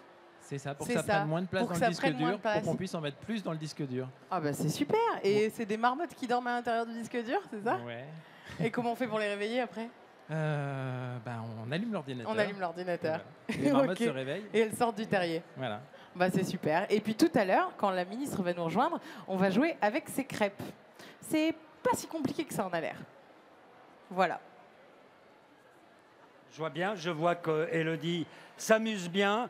On va la retrouver tout à l'heure pour euh, l'expérience euh, en entier. Voilà. Et on va continuer, je vous le disais, à parler de livres de sciences eh bien, avec un prix qui est de plus en plus célèbre. On va dire que c'est le prix littéraire le plus scientifique qui existe actuellement. C'est ça, ça s'appelle le goût des sciences.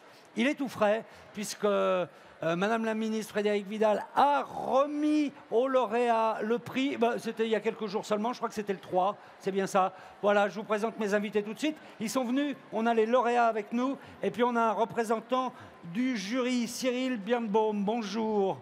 Bonjour. Bon, alors vous, vous allez parler au nom du jury, vous avez une grande responsabilité, et en même temps, tiens, bah, vous êtes aussi responsable du planétarium de la maison ici.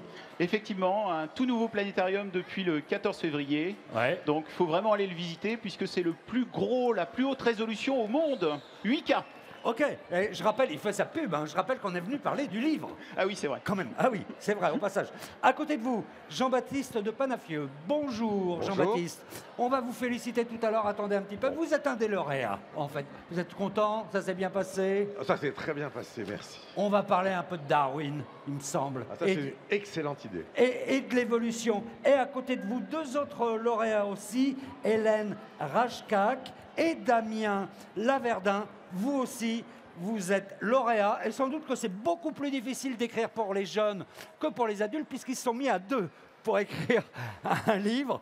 Donc voilà, enfin vous allez nous raconter vos rôles respectifs. Alors, d'abord j'aimerais qu'on parle un petit peu euh, du, prix, comment ça s'est passé, de qui est composé le jury? Vous avez beaucoup de livres qui arrivent chaque année on a à peu près une, euh, entre 15 et 20 livres chaque année qui, a, qui ont été présélectionnés. Ouais. On a un petit peu plus de trois mois pour tous les lire, donc avec l'été. Donc par chance, on a l'été, ça veut dire qu'on peut l'emmener, emmener les livres en vacances.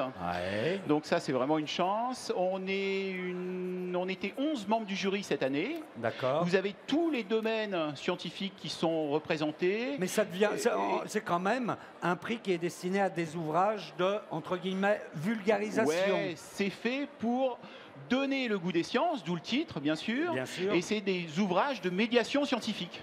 Et avec une autre chose très importante, c'est à la fois de la médiation scientifique, mais c'est aussi pour, pour susciter des vocations, mais aussi pour euh, bah, montrer le travail des chercheurs. Et ils sont écrits par qui en général? Ça ah, vient d'où? Vous pouvez avoir de, de, tous les horizons, des gens qui ne sont pas scientifiques, des gens qui sont scientifiques, des gens qui sont journalistes. Euh, vous avez tous les horizons. D'accord. Le jury, 11 personnes, mais c'est qui Des scientifiques, du grand Alors, public vous n'avez pas que des scientifiques. Vous avez à la fois des vous avez un dessinateur, donc qui va avoir un œil sur les euh, livres de jeunesse, bien sûr, entre autres, sur les illustrations. Vous avez des gens comme moi qui sont plutôt sur la médiation scientifique. Vous avez des gens qui sont sur Internet. Et puis vous avez bien sûr des scientifiques, etc. Et il y a des jeunes aussi. Et il y a un, Et il y a collège surtout, aussi. il y a un collège qui est là, qui est Qui le est là, d'ailleurs, aujourd'hui. Il est la- là, ouais Bravo On veut les voir. Donc, bah voilà, eh, joli travail. Alors on précise, c'était le jury pour le livre des C'était jeunes. le jury pour le livre des jeunes. Donc c'est le collège Yvonne Le Tac avec la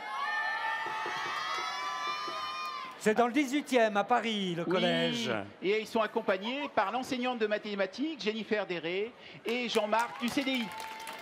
Vous êtes en cinquième, c'est une classe de cinquième, c'est ça donc la littérature et les sciences, bravo, vous avez été. Eh bien, on va commencer. Tiens, on finira par, euh, par le prix des jeunes et on vous demandera pourquoi vous avez choisi ce prix. On va commencer par euh, le prix du livre scientifique. Alors, je rappelle que ce prix distingue un ouvrage permettant à un public de non-spécialistes de comprendre certaines avancées, recherches et découvertes scientifiques, ainsi que leur impact sur le monde environnant. Et le lauréat cette année, c'est un livre qui s'appelle Darwin à la plage. On se demandait bien ce qu'il faisait là-bas, mais on va tout de suite comprendre. Et c'est- ça a été écrit par Jean-Baptiste de Panafieux. C'est édité chez Duno. C'est bien ça, Jean-Baptiste? C'est bien ça.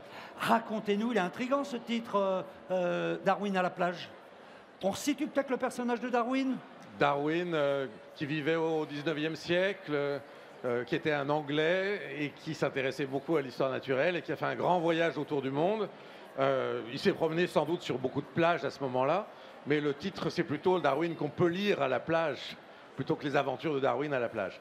Mais il a quand même fait, il a eu une aventure euh, prodigieuse au cours de sa vie, cinq ans de tour du monde, et là, il a découvert la nature dans le monde entier. Oui, c'est extraordinaire parce qu'on on retient essentiellement de lui son ouvrage de l'origine des espèces. C'était quand? en 1850 et quelques? 59. 1859. Mais c'était un grand voyageur. Il est allé sur le terrain, lui, pour explorer, pour observer des espèces. On a tous en mémoire, d'ailleurs, on se dit Darwin, les Galapagos, mais c'est aussi euh, l'Amérique du Sud, beaucoup. Un Beaucoup l'Amérique du Sud, euh, l'Australie. Enfin, l'Amérique euh, du Sud, oui, les Galapagos, d'accord, mais l'Argentine, je crois. enfin, Ah oui, l'Argentine, la Patagonie, beaucoup, la Terre de Feu, euh, les, les atolls de, de- de Polynésie, euh, la- euh, l'Australie. Enfin bon, il a beaucoup, beaucoup vu de- de- d'endroits et c'est. Il a, il a ouvert les yeux à ce moment-là sur, sur la nature. Ouais, C'était un vrai naturaliste. Et quand il, il écrit son ouvrage de l'origine des espèces, il crée quand même la polémique à, à- à l'époque, mais c'est une avancée colossale. Alors c'est quelque chose de, c'est une, une théorie qui est en train de se bâtir, quelque chose qui explique le monde. C'est une avancée prodigieuse à l'époque et qui a été confirmée largement depuis et qui continue à poser problème aujourd'hui. C'est incroyable. C'est C'est- incroyable. Est-ce que c'est pour ça? Alors, précisez, ça continue à poser problème. Pourquoi? C'est parce que justement, on se retrouve avec des détracteurs de ces théories. Alors, il y a des gens qui refusent l'idée d'évolution elle-même. Simplement, ils disent que le monde a toujours été comme il est, il n'a jamais changé. Après, il faut se débrouiller avec les dinosaures et d'autres bêtes comme ça, mais ils ont des explications toutes faites pour ça. Et puis l'autre chose, c'est que Darwin a, fait intervenir une idée que euh, tout ne va pas dans une direction donnée. Que l'évolution, l'histoire de la vie, elle, elle, va un peu au hasard, aux fonctions des événements. On ne sait pas où elle va aller, on ne sait pas comment les choses se, sont vraiment passées. Et euh, il n'y a pas de direction toute tranchée. Et ça, ça gêne beaucoup de gens qui pensent qu'il y a un but. D'accord. Et c'est le but, c'est pour ça que vous avez. Le but, ce serait nous. Oui. Mais vous, vous c'est ce qui vous a incité un peu à, écrire. C'est pour ça que vous avez eu envie d'écrire sur ce thème? Ah, Moi, c'est un thème qui me passionne depuis toujours. Oui. Euh, et puis faire, oui, expliquer cette, idée qui n'est pas facile à, à, saisir de comment ça marche l'évolution, comment les animaux se transforment.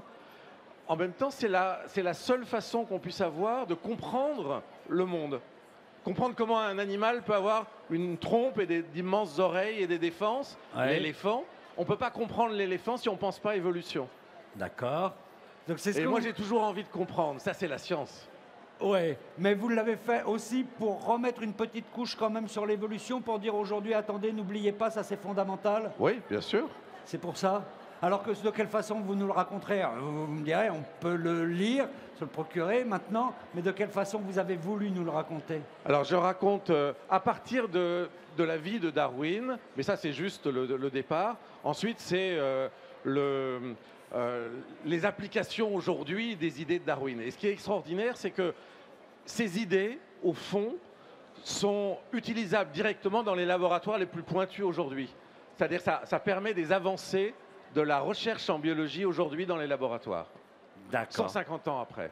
Donc c'est fondamental. Et ça fait partie, sa théorie, elle fait partie aussi de l'évolution de la science. Normal, ça continue d'évoluer. Normal. Tout le temps. D'accord. Merci beaucoup. On va euh, passer au prix du livre scientifique jeunesse. C'est une catégorie qui récompense un ouvrage destiné au public de 9 à 13 ans. Je parle sous votre contrôle, c'est bien ça. Prenez un micro si vous parlez. Moi, je peux vous dire que c'est de 9 à 13 ans. Ça, vous me faites confiance. Et ça permet de se favoriser euh, aussi aux questions scientifiques. Donc, les lauréats euh, et le livre qui a gagné, c'est Les mondes invisibles des animaux microscopiques par Hélène Rachkak et Damien Laverdin. C'est bien ça. Alors, ah, vous avez votre public. Hein. C'est édité chez Acte Sud Junior. Racontez-nous, faites-nous un petit peu, vous aussi, le pitch, le résumé, on va parler autrement de ce livre. Allez-y. Alors, l'idée de ce livre, c'était de, présenter un sujet qui est assez euh, peu attrayant, peut-être, quelque chose qui, au départ, comme ça, euh, n'est peut-être pas, enfin, paraît pas si intéressant, mais justement, quand on s'y penche, quand on commence à observer, à regarder de plus près les animaux microscopiques, de découvrir un monde passionnant, euh, très très riche et très très vivant. Et en fait, de découvrir, en fait, plus on va proche sur ces animaux, plus on va découvrir euh, les détails qui les composent dans leur anatomie, mais aussi comment ils vivent et comment ils sont adaptés à leur milieu. Et on va découvrir que car on a complètement des mondes qui sont tout autour de nous, mais qu'on ne connaît pas. on plonge dans complètement d'autres univers. Qu'autour de nous, euh, il y a ah de la vie invisible. Ouais. Alors, comment vous êtes réparti le travail entre les deux? Il y a de l'illustration, il y a de... Alors non, pas du tout. On travaille de manière un peu euh, particulière. C'est qu'on est tous les deux co-auteurs et co-illustrateurs. Vous dessinez tous les deux, vous illustrez tous les deux et vous écrivez tous les deux. C'est génial, ça. Vous pouvez faire les deux ensemble. C'est une symbiose. C'est une symbiose. Et vous apprenez plein de choses en sciences. Exactement, puisqu'on n'est pas de formation euh, scientifique, en tout cas en ce qui concerne des études supérieures. On a des formations plutôt artistiques ou de design. Euh, et, on s'intéresse euh, aux sciences plutôt par passion, en fait. Voilà. Ok. Eh ben, vous voyez, là aussi, ça nous illustre aussi très bien le propos. Ça veut dire que, eh bien, on peut s'intéresser aux sciences à travers aussi d'autres métiers. Le plaisir d'écrire, le plaisir de dessiner, le plaisir toujours de rechercher. Et un jour, eh bien, on arrive à faire un livre de sciences pour absolument tout le monde. Donc bravo, bravo aussi à vous. On vous applaudit. Je suis désolé, on va être obligé d'arrêter ici parce qu'on nous attend sur le forum. Il y a tout un petit tour. Elodie nous attend sur le forum. Je rappelle les deux livres. Dites-moi un mot. Je remercie la classe de, collège, voilà, grâce à qui on, on a en partie gagné. Oui, merci beaucoup. Voilà, super. Donc je vous rappelle ces deux ouvrages. Les mondes invisibles des animaux microscopiques et Darwin à la plage. Ça donne envie. Merci beaucoup et félicitations. Hein. Elodie, je suis désolé, j'ai été un tout petit peu long. Et on te retrouve tout de suite sur le forum. Je crois avec la ministre d'ailleurs. Ah bah oui, tu nous fais attendre. oh, excusez-moi. team bloc pour jouer aux crêpes là. Tu, ah on attend, on attend, on a envie de jouer. Donc on a été rejoint par Madame la ministre et puis par Monsieur Antoine Petit qui est président de l'INRIA, qui euh, c'est de la triche parce qu'il connaît déjà toutes les règles. Et puis on est prêt à commencer le jeu. Bon déjà c'est quoi c'est qu'est-ce que c'est que ces crêpes en carton, Marie? Est-ce que vous pouvez nous expliquer? Pas des vraies crêpes alors, alors non, les crêpes sont en carton parce que en fait, c'est une activité qu'on montre aux enseignants. Et l'idée, c'est de montrer à tout le monde qu'il suffit d'un morceau de carton, une paire de ciseaux, et ils peuvent faire ça. Ils n'ont pas besoin de chercheurs pour le faire, ils peuvent s'approprier les activités. D'accord, donc c'est pour que tout le monde puisse jouer. Alors, quelle est le, la règle du jeu? Alors, le jeu, c'est le, le jeu du crépier psychorigide. Alors crêpier parce qu'il fabrique des crêpes et psychorigide parce qu'il est un peu, euh, un peu obsessionnel. Il veut que ses crêpes soient toujours bien rangées, de la plus grande jusqu'à la plus petite, la plus grande en bas, la plus petite en haut. Mais, mais nous, les nôtres, elles sont, elles sont pas rangées là. oui, parce qu'en plus d'être psychorigide, il est un peu maladroit et donc il a, il a fait tomber ses crêpes. Elles sont en désordre. Donc maintenant, son problème, ça va être de les mettre en ordre. Alors comment on fait pour les mettre en ordre? Ben, Le problème, c'est que son plan de travail, il est un peu, un peu réduit. Donc euh, il peut seulement, il a une spatule, il peut seulement insérer sa spatule entre deux crêpes comme fait Marie là. Et ensuite, avec sa spatule, il va retourner son tas de crêpes. Ok, donc nous, on utilise la main comme spatule. Madame la ministre, je vous invite euh, à vous prêter au jeu de la crêpe, du crépier psychorigide. Donc la main, on peut la mettre au niveau qu'on veut. Soit on, prend une seule crêpe et on la retourne, soit on prend euh, la moitié des crêpes et on les retourne, soit on prend toutes les crêpes et on les retourne. D'accord. Mais on n'a pas le droit de soulever une crêpe, d'aller retourner celles qui sont en dessous, euh, ce serait de la triche. D'accord? On n'a qu'une seule main, une seule spatule. On peut seulement glisser la spatule et les retourner. Alors on essaye. Moi je me lance. ok, je suis un peu maladroite comme le crépier, donc euh, j'ai un petit peu mis le bazar dans, toutes mes crêpes.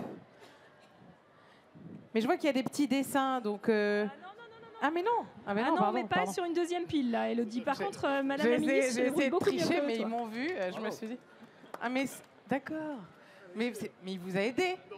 Monsieur Petit vous a aidé. Ils ont triché. Oh. Comment vous avez fait Expliquez-moi, parce que moi je suis pas très forte là en crêpes. Ok. D'accord. Ensuite vous retournez. Et puis vous reprenez toute la pile et vous retournez encore. Et là vous avez mis la plus grosse en bas, vous vous en occupez plus. Ok. Donc après, la deuxième plus grosse, ça doit être celle-là. Vous tournez, prenez toute la pile et hop. Allez, on s'approche du résultat là. Tac, vous retournez, prenez tout Voilà. Et voilà. Bon. C'était même pas du hasard. Hein. Mais vous avez déjà joué avant euh, Non, mais il y avait un jeu qui ressemblait à ça. Ah, C'est celui où il y avait les des, ronds en bois comme ça, avec des, pics en bois. Et puis il fallait euh, partir d'un truc dans le désordre. Les, tours de Hanoï. Voilà, voilà. Hmm. Mais quand j'étais petite, on jouait avec des jeux en bois en fait. Voilà, c'est ça le truc. moi, génération console, euh, console vidéo, je sais plus. Voilà. Ben, en fait, c'est tout l'intérêt de ces ateliers, c'est de montrer que l'informatique, euh, on peut aussi jouer avec des jeux en bois ou en carton. Bon, alors moi, ce qui m'intéresse là, d'une, je vois qu'il y a des petits dessins, donc c'est pas, ils sont pas faits au hasard ces petits dessins sur nos crêpes. Alors en fait, l'idée c'est que ce jeu est fait pour être progressif. Au début, on fait manipuler aux gens et ensuite on leur explique qu'en fait on est des informaticiens et que c'est pas eux qui vont réaliser ça, c'est l'ordinateur. Donc on leur prend les crêpes, ils peuvent encore voir les crêpes ils peuvent nous dire ce qu'on doit faire, mais ils n'ont plus l'occasion de manipuler. Et quand ils arrivent à formaliser assez leur raisonnement de cette manière-là, on remélange les crêpes, mais on les cache. Parce que l'idée avec un ordinateur, c'est qu'on explique une fois pour toutes ce qu'il faut faire, et quel que soit l'état de la pile de crêpes au départ, le programme doit fonctionner. Et donc, du coup, on fait ça avec plusieurs étapes. Et la, la phase colorée, c'est pour les enfants qui arrivent à trouver plus vite que les autres. On leur explique que, OK, maintenant, on veut la pile bien triée en pyramide, mais on veut les phases colorées au-dessus. Et alors pour faire ça, vous faites comment? Montrez-moi, faites-moi une démo. Bah alors, en fait, ce qu'il y a, c'est que c'est pas beaucoup plus lent que de faire euh, la version standard. C'est juste que ici, si je mets ma plus grande crêpe en haut, Si je retourne, elle va être en bas, mais si elle est dans ce sens-là, si je retourne, elle va être dans le mauvais sens. Elle va pas être colorée au-dessus. Alors, quand elle est au-dessus, si je vois la face colorée, je la retourne. Si je vois pas la face colorée, je ne fais rien à cette étape. Et ensuite seulement, je retourne. D'accord, et petit à petit, c'est un petit peu plus long. Exactement. Mais là, Et alors, peut- un- un- un- excusez-moi, je vous coupe. Un algorithme comme celui-là, euh, parce que c'est ça finalement, c'est un algorithme. Ça, ça sert à quoi à l'intérieur d'un ordinateur? Alors, euh, trier des crêpes en se fixant des contraintes bien particulières, ça on fait pas trop dans un ordinateur. Mais par contre, trier des informations, l'ordinateur le fait tout le temps. Il trie des mails par date, il trie euh, des notes pour faire un classement, il trie tout ce genre de choses. Et le tri- C'est ça, Voilà. il y a des ordinateur, ça vient du fait d'ordonner, de mettre en ordre les choses. Et donc, euh, c'est sa tâche principale. L'idée, c'est que quand les choses sont triées, rechercher une information dans un ensemble de données triées, c'est énormément, mais vraiment énormément plus rapide. Si je trie un million de nombres par ordre croissant et que je veux en chercher un parmi un million, si je me débrouille bien, j'en regarde 20 et je suis sûre de trouver le bon. 20 sur un million. Et ça, c'est ce que fait l'ordinateur. Et alors, dans tous ces petits jeux que vous avez euh, et ceux qu'on a pu en- apercevoir tout à l'heure, entre apercevoir, il y a quel type d'algorithme qu'on voit dans la pratique? Je ne sais pas si vous, vous voulez nous en expliquer un ou deux euh, rapidement euh, pour, pour comprendre un petit peu que tout ce qu'il y a dans un ordinateur, finalement, c'est pas si compliqué que ça. Non, alors c'est pas forcément un ou deux types d'algorithmes, mais c'est quelques principes en fait pour construire des algorithmes. Donc là, par exemple, avec les crêpes, on, on voit un principe qui est de réduire la complexité d'un problème euh, pour en fait euh, ré- revenir, euh, se ramener à un problème plus simple. Là, euh, trier les, il n'y a, que cinq crêpes, mais trier les cinq crêpes, on peut le ramener à un problème où on va mettre la plus grande crêpe en dessous, et ensuite, effectivement, on l'oublie, comme l'a indiqué Madame la Ministre. Donc, il suffira ensuite de trier les quatre crêpes qui, sont sur le dessus. Et donc, trier les quatre crêpes qui sont sur le dessus, à nouveau, on, trie la plus, on met la plus grande en dessous et on trie les trois crêpes euh, du dessus. Donc ça, c'est le principe de, récursivité euh, où on va... euh, et ça va nous permettre aussi de, voilà, de, de réduire la complexité du problème pour euh, résoudre le problème plus facilement. Et donc, et donc ça, en fait, le principe de résoudre la, com- résoudre la complexité du problème, c'est en fait c'est le travail perpétuel de réussir à avoir des ordinateurs plus rapides, plus performants. En fait, c'est en leur mettant toujours des problèmes de, de plus en plus simples à l'intérieur pour qu'ils aillent plus vite. C'est ça l'idée? Ben, C'est c'est tout le problème de- des algorithmes, c'est-à-dire que un algorithme, selon qu'il est bien conçu ou mal conçu, eh ben, l'opération, il va la faire en, en un dixième de seconde, ou alors il va mettre des milliers d'années pour, euh, pour résoudre le problème.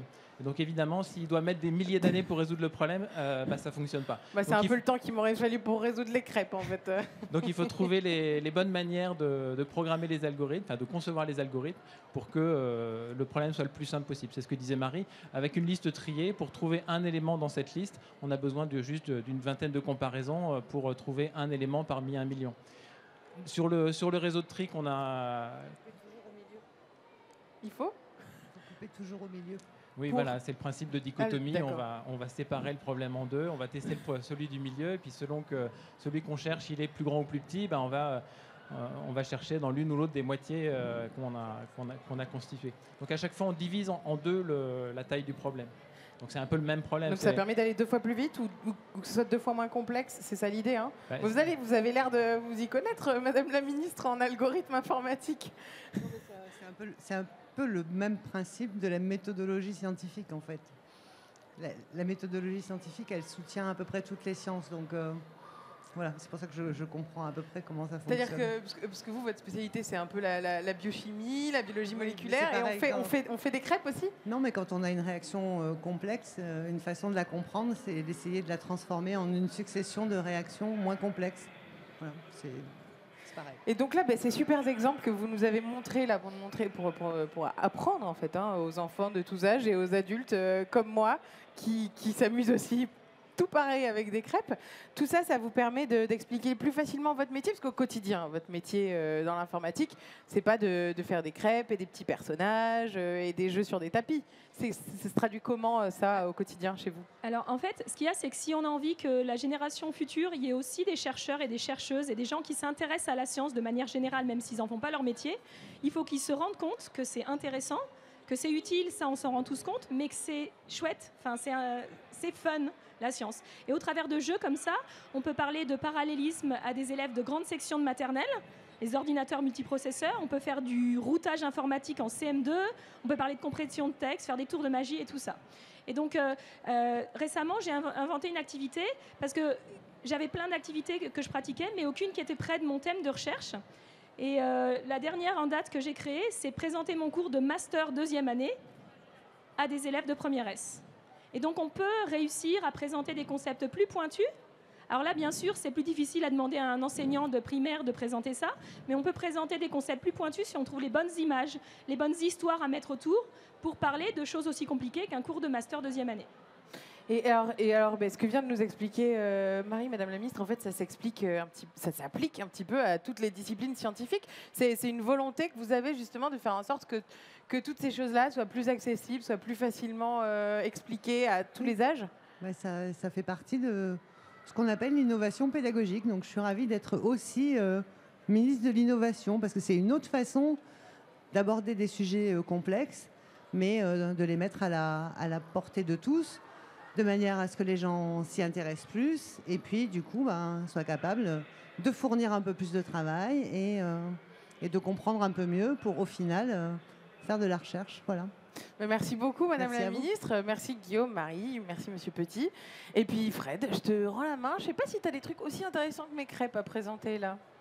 Mais nous, nous, nous, nous, c'est absolument passionnant. On était dans la littérature. Maintenant, on passe au film, les sciences et les films, les documentaires. C'est aussi important pour permettre au grand public de découvrir tous ces domaines passionnants des sciences. Et pour parler des films, on, on va prolonger tout à l'heure, mais je voudrais d'abord qu'on s'arrête sur euh, un très très beau projet qui s'appelle L'étincelle, qui est plus qu'un projet d'ailleurs, puisqu'il est déjà réalisé et qui va être diffusé sur France Télévisions, précisément sur France 3. Donc ça s'appelle L'étincelle. Et pour en parler, j'ai le plaisir d'accueillir Nicolas Ngo. Bonjour Nicolas. Bonjour, Vous Fred. êtes du département de la culture scientifique, des relations avec la société au ministère de l'enseignement C'est ça. supérieur, de la recherche et de l'innovation. Je vais jusqu'au bout du titre. Merci. À côté de vous, Linda Deby, bonjour. Vous êtes productrice de la série L'étincelle. C'est la société de production audiovisuelle Heliox Film. C'est bien ça, j'ai tout dit.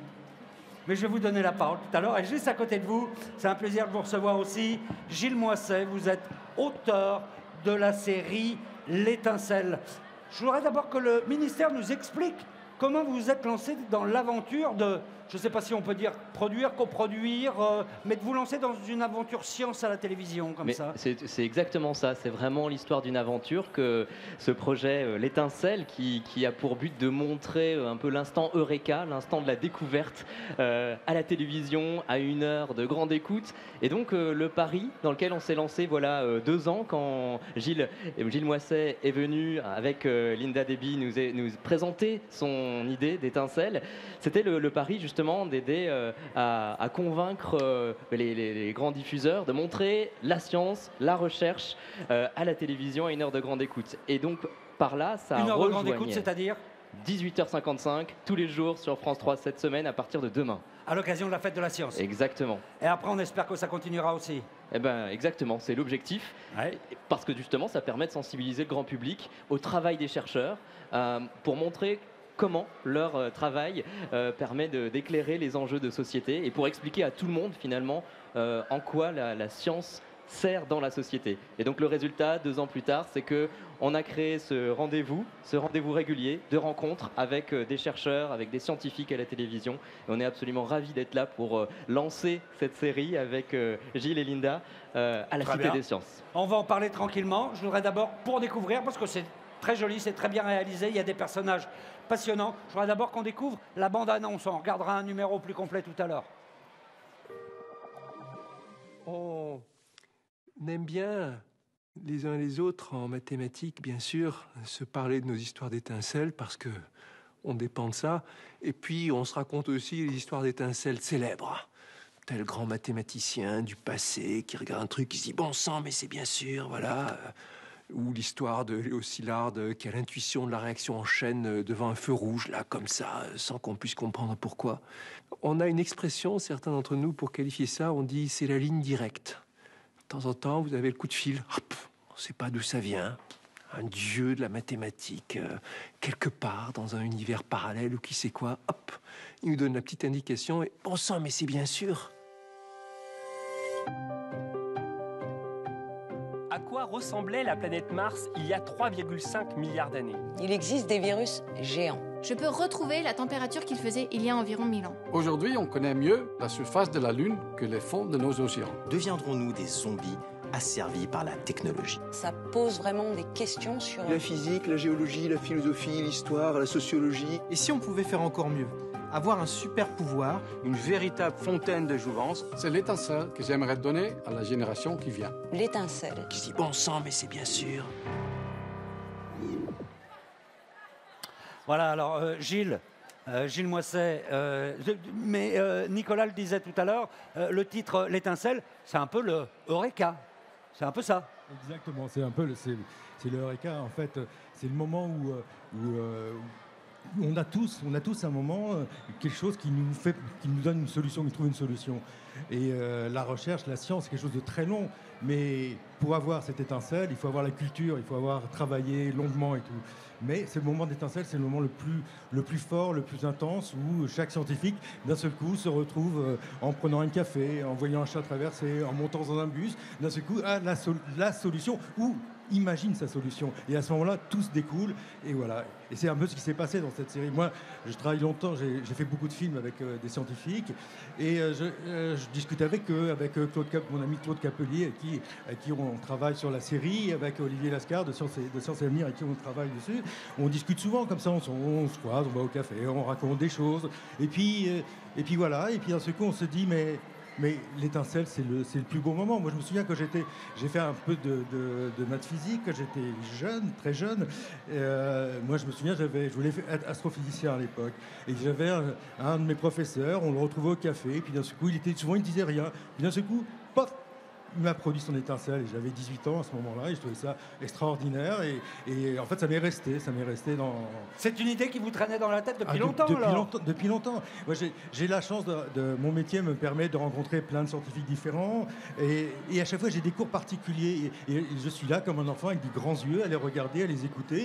Et je dis, ça, faut le partager. Et puis, à chaque fois, je rentre, je les rencontre. Et puis, ça me donne une envie de faire autre chose. Euh, C'est la rencontre de ces gens. Et c'est ce que cette série, c'est faire rencontrer les chercheurs euh, avec le grand public, juste parce qu'on leur montrait qu'ils bah, sont comme nous, ils ont une étincelle, euh, ils ont, bah, bien sûr, ils, ont, ils, ont, euh, ils font une recherche précise, ils travaillent sur telle ou telle matière, mais ils ont toujours, ils sont comme nous, ils ont un, instant, ça part, et puis voilà. Encore faut-il trouver les chercheurs. Euh, Certains auront une étincelle demain, mais ils ne l'ont pas encore eu. donc vous avez cherché des chercheurs justement qui ont eu la révélation, Ah, l'étincelle. mais, mais ça c'est le plus drôle, c'est qu'à chaque fois quand je vais les quand je, quand je les appelle pour dire ah là, j'adore ce que moi j'ai- j'aime bien votre recherche, expliquez-moi ou je... mais alors euh, je, je leur présente l'émission, la série et puis je leur dis mais alors votre étincelle ah ben j'en ai pas. C'est toujours comme ça. Et puis on discute et puis, puis au bout d'un moment on dit ah ben oui mais mais en fait, c'est vrai. Quand j'ai fait ça, ah mais oui, ah, Ah mais bah c'est oui. ça, ah bah c'est voilà, et ça marche toujours comme ça. Quand je leur dis, bah, il faut faire une minute 22 pour que ce soit un, un cours, ah mais on peut pas. Alors on- j'écris, on écrit, j'écris un premier texte avec avec avec, Cape- avec, euh, Claude Capelier et Olivier Lascar. On, est, on commence à écrire les premiers textes et puis on leur montre qu'en minute 22, on peut conceptualiser, montrer leur étincelle et parler du futur. Et alors là, ils sont là, ah bah oui, et puis ça marche. Ça, Quelle richesse Vous avez de la chance parce que vous devez rencontrer des personnages non Ah. seulement extraordinaires, mais qui vous racontent des, des histoires extraordinaires. Ouais, ça fait 30 ans que je fais ce métier, c'est, je n'en ferai pas d'autres. Com- Combien de, de films, euh, Li- Linda, euh, sont faits? Combien sont prévus? Alors, euh, là, pour, dans le cadre de la semaine de la science, il y a 10 films, hein, 10 films courts hein, diffusés sur France 3 à 18h55 tous les jours du 7 octobre au 15 octobre. Voilà. Très bien. Et il y a également, on diffuse également des 10 minutes sur le web, euh, 24 heures après la diffusion des cours. Donc, Donc, qui- un format un petit peu plus long. voilà, qui donneront plus de précision. euh, voilà. D'accord. J'allais vous demander, mais à tous les deux, comment vous avez fait pour les sélectionner? Parce qu'il y en a beaucoup de chercheurs en France. Et d'ailleurs, on a la chance de rencontrer des chercheurs absolument passionnants. Donc, en prendre 12, c'est un combat. C'est un véritable combat. C'est aussi, euh, Eh ben, c'est l'histoire de rencontre, tout, bêtement. C'est-à-dire qu'on on, on lit des articles, on essaye de les joindre, on, euh, parle avec nos partenaires, que ce soit le ministère, que ce soit Sciences et Avenir, que ce soit les grandes écoles. Parce que les grandes écoles comme le, PF, l'école polytechnique, euh, polytechnique féminine, et d'ingénieurs euh, euh, nous aident beaucoup. Il y a PSL qui nous aide aussi, qui, qui d'un seul coup nous disent mais l'idée est tellement bien que bah, nos chercheurs sont là, rencontrez-les. Alors après, bah, c'est vrai qu'après faut, il faut trouver, il faut On appelle ça un libres. casting dans le métier Ah, complètement. Oh, Mais c'est euh, pas, pas ça. Ah non, c'est pas simple. Puis après, il faut qu'ils soient libres au bon moment parce qu'on en fait plusieurs par jour, donc euh, on peut pas les en tourner un par jour, c'est pas possible ça. Bon, on va regarder un numéro entier pour se faire plaisir. C'est sur quel chercheur? Qu'est-ce que vous avez sélectionné? Alors c'est Pierre-Marie Lédo, c'est un, un neu- un neurobiologiste qui, a. qui euh, nous a donné une bonne nouvelle, c'est qu'on a toujours euh, des, des neurones qui se produisent dans notre cerveau. Ah, ça c'est une bonne nouvelle. On va le regarder avec plaisir. C'est parti, tout de suite. À partir de 20 ans, on perdrait des neurones. C'est un refrain bien connu. Selon cette légende, notre cerveau aurait la capacité de se renouveler seulement pendant une brève période de vie. En gros, depuis l'âge embryonnaire jusqu'à la puberté. Mais à l'âge adulte, c'est fini. Nous perdrions chaque jour des neurones, ils ne se renouvelleraient pas, d'où notre déclin. Ce dogme scientifique est aujourd'hui périmé. Les découvertes les plus récentes en neurobiologie montrent en effet que quel que soit notre âge, notre statut social ou professionnel, notre cerveau garde la possibilité de régénérer tout au long de sa vie certains de ses circuits. Mon étincelle a été de dénicher dans certaines régions du cerveau une véritable fontaine de jouvence d'où migrent des nouveaux neurones pour venir rajeunir des circuits nerveux. Le cerveau n'est donc pas un organe figé, au contraire, c'est un chantier permanent, jamais achevé. La découverte d'une fontaine de jouvence dans le cerveau ouvre des perspectives thérapeutiques étonnantes, comme par exemple acheminer des neurones neufs sur des zones cérébrales à réparer. Mais surtout, notre matière grise se nourrit du changement et se détruit de la routine. À méditer.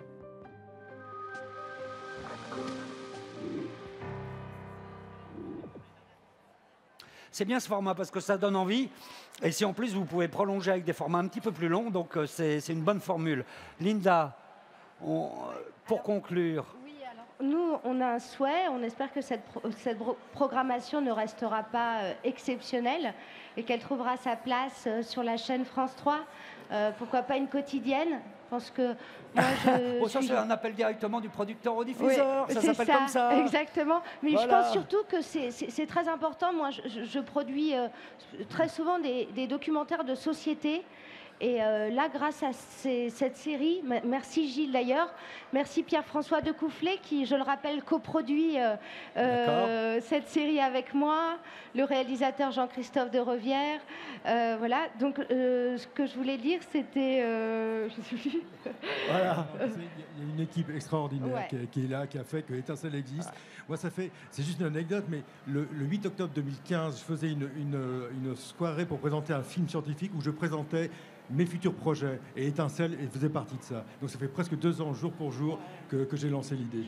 C'est quand même bien. L'essentiel, c'est d'y arriver. Ça a été l'étincelle ce jour-là. Il vous a fallu deux ans pour, Et- euh, pour conclure. Et c'est vrai que j'ai jamais autant appris. Le fait de vulgariser la science, la rendre accessible, c'est un métier formidable. Je crois pas? que je vais me spécialiser parce que c'est que du bonheur. Je on remercie beaucoup, énormément le ministère de l'enseignement, de l'innovation et de la recherche qui nous ont énormément soutenus et le ministère de la culture. Euh, voilà, on est très contents, ravis et merci à France 3. Ok, le mot de la fin à Nicolas. Simplement pour euh, terminer sur euh, une note de plaisir et d'enthousiasme, c'est vrai que euh, le dynamisme de cette équipe nous a séduits et c'est ça qui nous a incité à parier sur le plaisir de la découverte et la joie de faire de la recherche. Eh ben bravo en tout cas de nous présenter à une heure de grande écoute de brillants scientifiques français qui vont nous donner envie de découvrir leur discipline et qui vont par la même occasion nous montrer aussi à quel point, on ne sait pas toujours, ils travaillent comme ça, des fois dans, dans- dans leur laboratoire et ils font des découvertes absolument extraordinaires pour nous et pour l'humanité. Voilà, merci beaucoup. Et on va retourner faire un petit tour sur le forum avec euh, mes camarades Elodie et Jean. Vous allez bien, tout se passe bien Eh ben, on va plutôt bien, Fred. hein. Euh, on, était impatient de venir sur cette grande maquette euh, qui porte le nom mystérieux de mix énergétique. Alors, euh, j'ai pris Elodie pour venir m'aider parce qu'on a euh, du mal à savoir de quoi ça parle. Euh, donc, Elodie, est-ce que tu as une petite idée? Mais d'avis que ça n'a rien à voir avec les platines. Euh, Je pense que c'est un autre type de mix. Alors, je vais poser la question à Noémie Berthelot de Planète Science qui est à côté de moi et qui doit s'y connaître un petit peu mieux. Euh, est-ce que c'est ça? Non, du tout. Non? Non. Ah. Faut faire mieux là. Faut faire mieux. Alors, moi, j'avais une autre petite idée. Vous allez me dire si c'était ça. Euh, mix énergétique, est-ce que c'est un, un cocktail de vitamine C euh? Non plus. Euh, décidément, je crois qu'on n'est pas très bon euh, Bah, là-dessus, hein. euh, Madame la ministre. Moi, je suis Madame sûre que Madame la ministre a une idée. Alors, peut-être un, un mélange euh, d'énergie euh, provenant de sources différentes Oui. Oui, tout à fait. Tout à fait. Tout à fait. Bah voilà. Bon, bah écoutez, il, il- il nous fallait euh, Madame la ministre avec nous pour pouvoir trouver. On a résolu euh, l'affaire. Bon alors, euh, ça ne nous dit pas euh, quand même euh, de quoi on va parler. Alors, euh, est-ce que vous pouvez nous donner quelques, petites, euh, quelques petits indices? Oui, alors cette maquette a été réalisée donc par Planète Science pour le CEA et l'IFP Énergie Nouvelle. Et en fait, l'objectif, en fait, c'est de faire comprendre le mix énergétique français. Euh, donc, euh, au niveau de tout, euh, au niveau des productions d'énergie, mais également la consommation, les déplacements. Et donc, vous avez tout un tas d'éléments qui s'ajoutent, qui s'enlèvent de la maquette pour faire comprendre bah, tout simplement ce que c'est et comment on peut euh, bah, travailler sur le, mix énergétique français en, tant que, personne au quotidien. D'accord. Alors, mix énergétique, on va y revenir tout à l'heure, plus en détail. Euh, moi, ça me fait penser mix énergétique à énergie, énergie renouvelable, énergie nouvelle. Euh, c'est des thèmes qui sont euh, assez d'actualité en ce moment, notamment avec euh, la transition énergétique, puisqu'on va à l'horizon 2050 essayer de réduire la part de nucléaire. Ça va demander un effort pour former des, nouvelles compétences, enfin former des, jeunes qui s'y connaissent, qui puissent après développer toutes ces technologies. Alors concrètement, comment on va faire pour répondre à cette demande et, réussir la transition énergétique euh, grâce à l'enseignement supérieur Alors, et à la recherche, en fait, euh, parce que ça va être euh, au cœur, au cœur des sujets. La transition énergétique, c'est comment euh, est-ce qu'on fait pour passer d'énergies fossiles qui vont être polluantes vers des énergies de plus en plus vertes et, et- de moins en moins polluantes, notamment pour, pour contrer un, certain nombre d'effets euh, néfastes euh, liés notamment à la production de CO2, etc. Donc, euh, les mix énergétiques, c'est comment se mélangent les différentes énergies, celles qui vont euh, euh, avoir des, des sources carbonées, euh, voilà, les hydrocarbures, euh, le nucléaire et les énergies renouvelables comme le solaire, le vent. euh, J'imagine que vous avez un peu d'eau quelque part, voilà, la biomasse, etc. Oui, il va y avoir de nouveaux métiers, bien sûr, hein, euh, et, notamment euh, des questions qui vont être posées sur euh, la façon dont on va être capable de stocker des énergies. Par exemple, on voit bien qu'il ne fait pas soleil pendant la nuit, donc ça veut dire qu'on a besoin d'énergie la nuit et le soleil, c'est là le jour. Donc c'est toute la filière batterie qu'il va falloir, par exemple, développer. Donc derrière, c'est euh, des physiciens, des mathématiciens, euh, des thermiciens, des chimistes. euh, enfin voilà, c'est tout un tas de disciplines où il va falloir continuer à former des jeunes de manière à ce qu'ensuite le meilleur de ces disciplines s'associe pour répondre à un problème de société qui sera bah, le problème de la transition énergétique. Voilà, j'espère que j'ai été claire. disciplines, En fait, Un pour mix faire de un mix énergétique, il faut un mix Absolument, de disciplines. Absolument. Bah voilà, le message essentiel. On avait La le mot de la moelle. fin. Merci Elodie. Donc on se retrouve euh, tout à l'heure pour euh, développer un petit peu euh, cette maquette du mix énergétique. Voilà, merci beaucoup.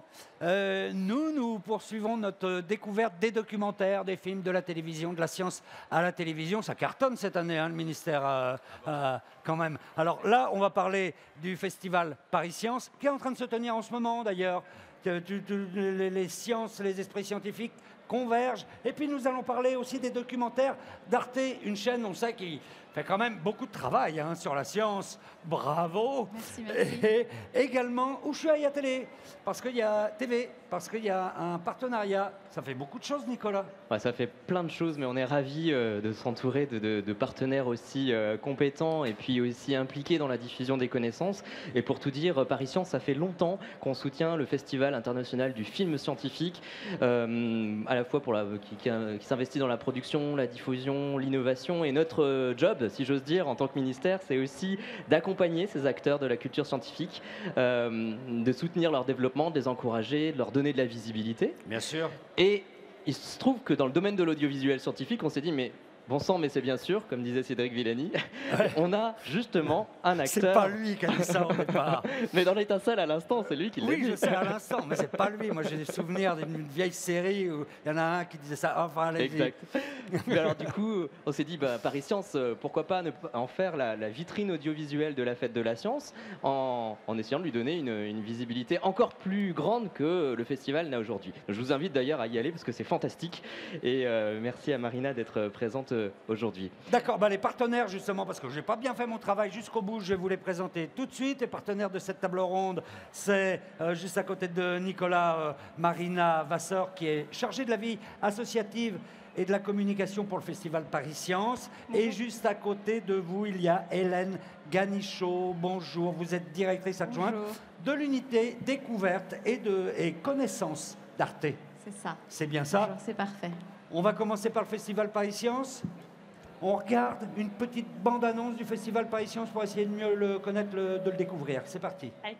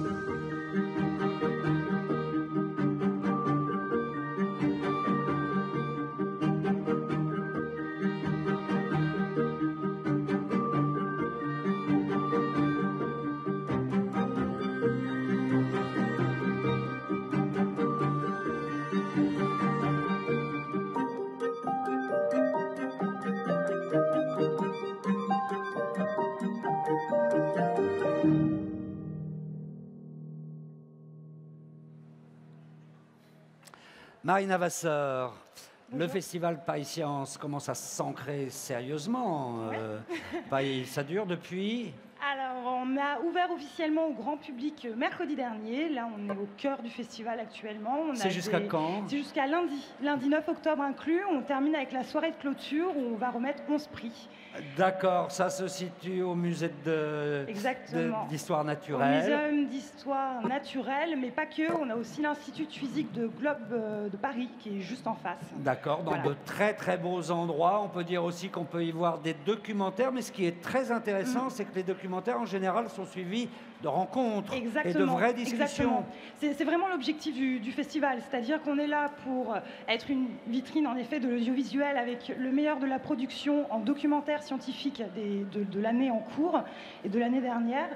Euh, D'ailleurs, on n'a pas que du documentaire, enfin, on a plusieurs formats. On a du long métrage, du court métrage et pour la première fois cette année, euh, de la réalité virtuelle qui aura lieu pour le grand public dimanche euh, tout l'après-midi. Combien de films à peu près vous- Euh, vous On a avez? 87 films projetés cette année, en une semaine. Court Ah, métrage, long métrage inclus. Oui, Donc c'est non-stop. c'est non-stop. Pour connaître ju- ju- jusqu'à la fin du festival le programme, vous avez un site. Oui, pariscience.fr, réservation gratuite sur le site internet. D'accord. Moi, j'insiste sur un point qui, qui est plaisant chez vous. c'est pour les adultes, bien sûr. Bien sûr. C'est aussi beaucoup pour les enfants. Il y a pas mal de rencontres où les scolaires Exactement. viennent après, Oui. après des films, Oui, discutent avec les auteurs, Exactement, avec ils des sont très scientifiques. investis. Mhm. Oui, oui. Alors tous les matins, on a des séances qui sont consacrées aux classes, donc euh, de la primaire au lycée inclus. Euh, en début d'après-midi aussi. Et le week-end, nous avons des séances famille. Euh, D'ailleurs, j'en profite pour dire qu'on en a deux ce week-end, dont une avec, en partenariat avec la Fondation Tara Expédition euh, sur du coup, les récifs coralliens et la biodiversité. Voilà. D'accord, passionnant. Donc un partenariat ministère maintenant, Bien festival Paris Science pour promouvoir le plus possible les sciences à travers les, les documentaires. Complètement, c'est exactement ça. Et c'est euh, notamment euh, grâce à, à Par- à Paris Science, qui est bien sûr euh, très en lien avec tout l'écosystème de l'audiovisuel, que on a la chance d'avoir Arte à nos côtés, non seulement pour le festival Paris Science, mais aussi pour le petit livre. Tout à l'heure, vous avez parlé du goodies, hein, c'est Ouais. grâce aussi à Arte euh, 360 VR. D'accord, et bien Arte, on va en parler justement, parce que euh, moi je vais regarder Arte, mais maintenant je vais regarder Arte sur le site de, de, de la Fête de la Science pour découvrir des beaux documentaires, c'est ça. Pour toute la durée de la manifestation, c'est ça. Notre, on est nouveau partenaire de la Fête de la Science et on est ravis. Et ça se manifeste, oui, par sept documentaires qui ont été mis en ligne dès aujourd'hui. J'ai vérifié, ça marche. Ça et marche. Ça, ça marche. Vous pouvez y aller, et ça marche. Jusqu'à la fin de bah, la fin de la Fête de la Science. Et euh, on vous fait un petit cadeau parce qu'il y a un des documentaires qui n'a jamais encore été vu sur Arte. Donc il y a un inédit qui est juste pour euh, le public de la Fête de la Science. D'accord, donc si vous voulez voir du documentaire scientifique signé Arte, vous pouvez aller pendant la fête de la science sur le site fête-de-la-science.fr. Là, il y a sept documentaires qui vous attendent, dont un en exclusivité. J'aime bien les sujets en plus que vous avez sélectionnés, Ouais. qui sont très très originaux. Je propose qu'on voit tout de suite d'ailleurs l'extrait de, de l'hypnose. Allons-y. On y va.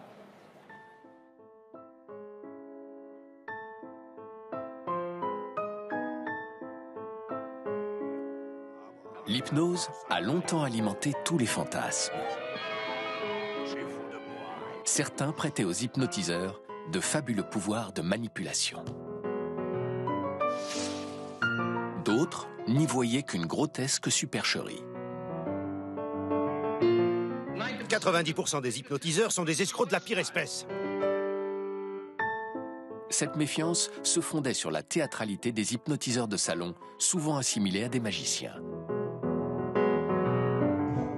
Les shows des hypnotiseurs fascinent toujours autant. Mais depuis peu, la science s'intéresse de près à l'hypnose.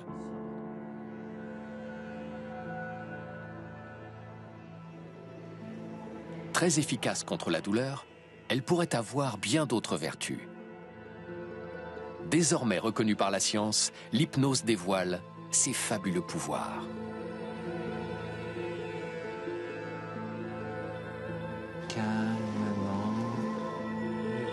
De plus en plus de médecins et de chirurgiens ont recours à l'hypnose comme complément anesthésique lors d'une opération.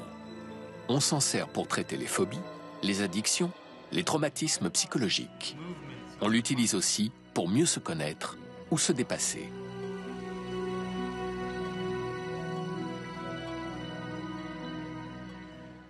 les fabuleux pouvoirs de l'hypnose. C'est intéressant, je trouve, parce que vous abordez des thèmes un peu nouveaux en sciences qui pouvaient paraître un peu marginaux avant. Alors nous, notre filtre, c'est euh, qu'il faut que ce soit de la science nouvelle et que ce soit à la pointe des recherches et des découvertes. Donc c'est vrai que là, on part en hypnose, que ça avait mauvaise presse à l'époque parce que c'était chez les charlatans. Mais à partir du moment où il y a un corps de... un amassement, je ne sais pas si on dit ça, un amas de nouvelles données scientifiques, bah nous, ça Bah nous oui. intéresse, ça, nous, ça nous semble évident qu'il faut en parler. Et Bah enfin, oui. moi, j'étais je vous invite à regarder le film, mais quand il y a une femme qui se fait opérer de la théorie, donc c'est une vraie, enfin voilà, c'est invasif, Ouais. et elle le fait euh, avec la moitié des drogues habituelles, enfin des et grâce à l'hypnose. Donc voilà, nous, ce qui nous intéresse, c'est vraiment la science en marche. Et Ouais. enfin, on ne s'interdit aucun sujet à partir du moment où on peut le lire avec le prisme de la science. Ouais, les autres sujets sont assez sympas, les titres euh, aussi. Pourquoi les femmes sont-elles plus petites que les hommes? Ah ben- C'est drôle, c'est plein d'humour. Mais exactement, voilà. Mais c'est ça. Nous, l'idée aussi, c'est que, enfin, l'idée, c'est de décoder et on peut poser des questions qui ont l'air euh, pas bête, mais enfin simpliste, et en fait apporter de grands sujets et de, voilà, de répondre vraiment à des questions de, de notre vie de tous les jours. Et voilà. Ouais, de vie de tous les jours, les super pouvoirs de l'urine. Les super pouvoirs de l'urine, ben voilà. Les étonnantes vertus de la méditation. Ça, c'est important d'en parler aussi. C'est hyper, oui. Parce que Mm. ça, oui, c'est un nouveau sujet qui intéresse beaucoup les gens dans la vie quotidienne, mais ce qui nous intéresse aussi de montrer, c'est que ça marche. Enfin, c'est- ça a un impact absolument euh, essentiel. Et d'ailleurs, la méditation devient une pratique aussi utilisée avec les enfants euh, dans les écoles. Donc c'est c'est pour toutes les couches de la société, tous les âges. Et euh, voilà. On a bien compris, tant qu'il y a de la science derrière, tant qu'il y a des scientifiques qui s'intéressent au thème, et tant que c'est nouveau, eh bien ça, ça, Ça nous se prête, ça donne lieu à ça. Alors j'en cite d'autres, euh, cannabis sur ordonnance, vous avez des programmes cool hein, quand même. hein. Euh, L'effet placebo. On est cool sur Arte. Ah bah oui, Ah ouais l'effet placebo, intéressant aussi, parce que l'effet placebo, on se demande tout le temps si justement il y a un effet réel ou pas. Bébé sur mesure, donc tout ça, c'est votre programmation normale sur Arte, et là, vous décidez de l'offrir euh, en plus au grand public pour, pour la fête de la science. Oui, oui, parce qu'on a choisi des programmes. Alors évidemment, vous dites cool, mais effectivement, qui sont. euh, parce que nous, ce qui est important aussi, c'est que nos programmes soient euh, en prise avec la réalité de nos téléspectateurs et donc de- des gens qui sont intéressés par la fête de la science. Donc on s'interdit aucun sujet, on, s'in- on- on abordera la mécanique quantique et l'espace, mais c'est vrai qu'avec cette sélection de programmes, je pense qu'on est quand même très en prise avec les questions actuelles, enfin de tous les jours. D'accord. Et donc c'est aussi pour ça qu'on a fait cette sélection de programmes. Ah mon Nicolas Moi, je trouve que c'est, euh, enfin, on est absolument ravis parce que ces documentaires, ils offrent des clés de compréhension du monde grâce à la science. Ils permettent aussi de saisir les enjeux euh, sociétaux de la science et euh, le site de la fête de la science permet justement d'offrir des, des ressources de grande qualité qui sont à la fois accessibles, intelligents, édifiants. Bref, je vous invite tous à aller sur site de la fête de la science.fr. D'accord, très bien. Et puis c'est vrai que sur Arte, vous avez le courage d'aborder des sujets qui a priori sont pas évidents, comme ça, peuvent paraître très pointus scientifiquement, mais finalement là aussi, au-delà des titres compliqués, on peut découvrir des recherches, des univers. Enfin voilà, c'est intéressant. C'est tout l'objet d'un documentaire. Je pense que, moi, j'aime beaucoup travailler sur les documentaires parce qu'on a apporté de main des gens compétents, des scientifiques passionnés, les pouvoirs de l'image, le pouvoir de l'animation, le pouvoir de la musique. Et je trouve que la science parfois véhicule des concepts pas très, un peu abstraits. Enfin, il y a Ouais. des sciences qui sont très palpables, mais d'autres qui sont assez abstraites. Et je trouve qu'avec l'objet documentaire, on peut rendre cette science palpable, 3D, et qu'on a ces petits instants de Ah, j'ai compris, le RECA dont vous parliez juste avant, c'est ce qu'on essaie de faire avec les documentaires, c'est de rendre cette science palpable et, et abordable. Et c'est pas toujours facile, donc c'est bien fait. Et bravo de relever ce défi. Et puis on va parler aussi d'Ushuaïa, la chaîne Ushuaïa. Oui, alors encore un, un superbe partenariat euh, avec la chaîne Ushuaïa TV qui euh, nous a offert là aussi cinq épisodes d'une série que je vous invite à aller voir. C'est Curieuse, de nature. On en regarde un petit extrait. Cette saison curieuse de nature vous promène d'île en île, de Caraïbes en Méditerranée, en passant par l'Atlantique. Et vous allez voir que ces petites promenades insulaires vont nous révéler bien de savoureuses histoires. Curieuse de nature, c'est comme toujours sur votre chaîne préférée, Ushuaïa TV évidemment. Voilà, et puis on salue euh, Myriam aussi, que j'ai aperçu tout à l'heure, qui se balade euh, sur la fête de la science et que vous venez de voir et que vous retrouverez sur Ushuaïa. Merci beaucoup pour Merci euh, beaucoup. tout le travail que vous faites pour faire connaître et aimer les sciences. Merci à vous. Merci, On Fred. va retourner euh, faire un tour sur le forum avec mes camarades Jean et Elodie. Alors Fred, euh, oui, je suis sur le forum. Ah, donc, mais c'est euh, Jean. À côté, oui, exactement. Elodie, Elodie est partie, elle se balade, elle, elle visite les autres, euh, les autres expériences. Donc moi, je suis resté donc sur le mix énergétique Merci. avec Noémie Berthelot de Planète Science, qui va nous expliquer un petit peu plus précisément maintenant le fonctionnement. Alors, ce qu'on a déjà expliqué un petit peu ce qu'était le mix énergétique, donc c'est un ensemble de sources d'énergie, hein, donc euh, que ce soit le, le solaire, euh, le nucléaire, les énergies renouvelables avec le vent, les éoliennes, etc.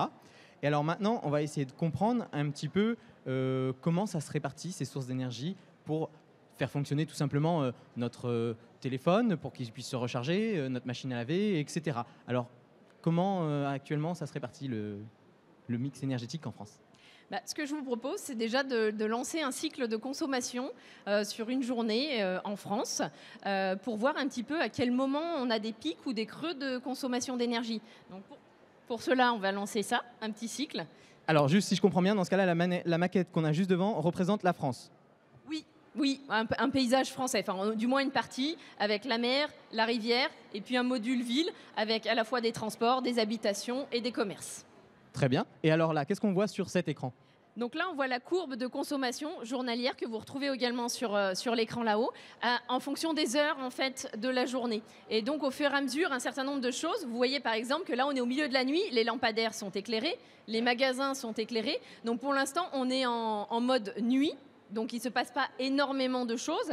Et puis, au fur et à mesure, on va Alors, je vous, coupe parce qu'il ne se passe pas grand-chose, mais on consomme quand même de l'électricité. On voit quand même qu'il y a une consommation euh, pour euh, faire fonctionner tout ça, toutes ces lumières, euh, les bâtiments. Oui, et surtout ce qu'on veut, c'est essayer d'amener à se questionner en fait sur est-ce que finalement on a besoin de laisser les magasins éclairés la, la nuit? Est-ce que euh, l'éclairage euh, le long des routes est obligatoire toute la nuit ou on ne pourrait pas réduire le nombre de lampadaires par exemple et éclairer pour baisser en fait les consommations d'énergie? D'accord. Alors, on va continuer. Qu'est-ce qu'on voit maintenant? Eh ben, au fur et à mesure, on avance au milieu de la nuit jusqu'à arriver à un moment donné où on va rentrer dans un cycle plutôt de, de jours. Et à un moment donné, ben, euh, ce qui était la nuit va progressivement s'éteindre et d'autres parties vont se mettre en route, telles que euh, les habitations et les transports. Hop, alors on va voir le petit train qui va bouger ou les bâtiments. Hop, Je me permets d'avancer un petit peu hein, parce qu'au milieu de la nuit, il ne se passe pas grand-chose. Alors maintenant, on va bientôt arriver dans le début de la journée. Donc, euh, toute la France va se mettre euh, en activité. On va commencer à avoir une consommation d'énergie plus importante, c'est ça? C'est ça. Parce que ce qu'on voit, c'est que là, on est au milieu de la nuit. On est plutôt sur une courbe qui descend ou qui remonte progressivement. Là, petit à petit, on arrive euh, progressivement sur, euh, sur le matin. Donc bientôt, on va passer en mode, en mode de jour. Où là, on voit les pics. D'ailleurs, le train vient de se mettre en route. Donc là, c'est les déplacements le matin pour aller au travail, euh, les éclairages qui vont, qui vont s'éteindre, les habitations qui vont s'éclairer. Et ce ne sont pas les mêmes postes de consommation. Mais par exemple, moi, je vais vous poser une petite question. À votre avis, à quel moment de la journée est-ce qu'on a un pic de consommation d'énergie? Alors, euh, je dirais le soir. Mais encore, un petit peu plus précisément, au moins une tranche ou une fourchette euh, d'horaire.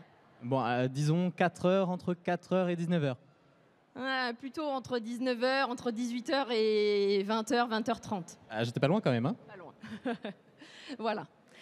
Alors, donc tout ça, pour fournir toute cette énergie, donc on a dit que euh, euh, la part euh, majoritaire, c'est le nucléaire. On a aussi d'autres sources. Mais ce qu'on va essayer de faire, c'est de l'équilibrer et aussi de peut-être remplacer certaines parties euh, euh, qui sont des énergies dites fossiles, donc euh, qui mettent un certain temps à se renouveler, par des énergies renouvelables qui sont disponibles gratuitement, comme le soleil, le vent, c'est ça?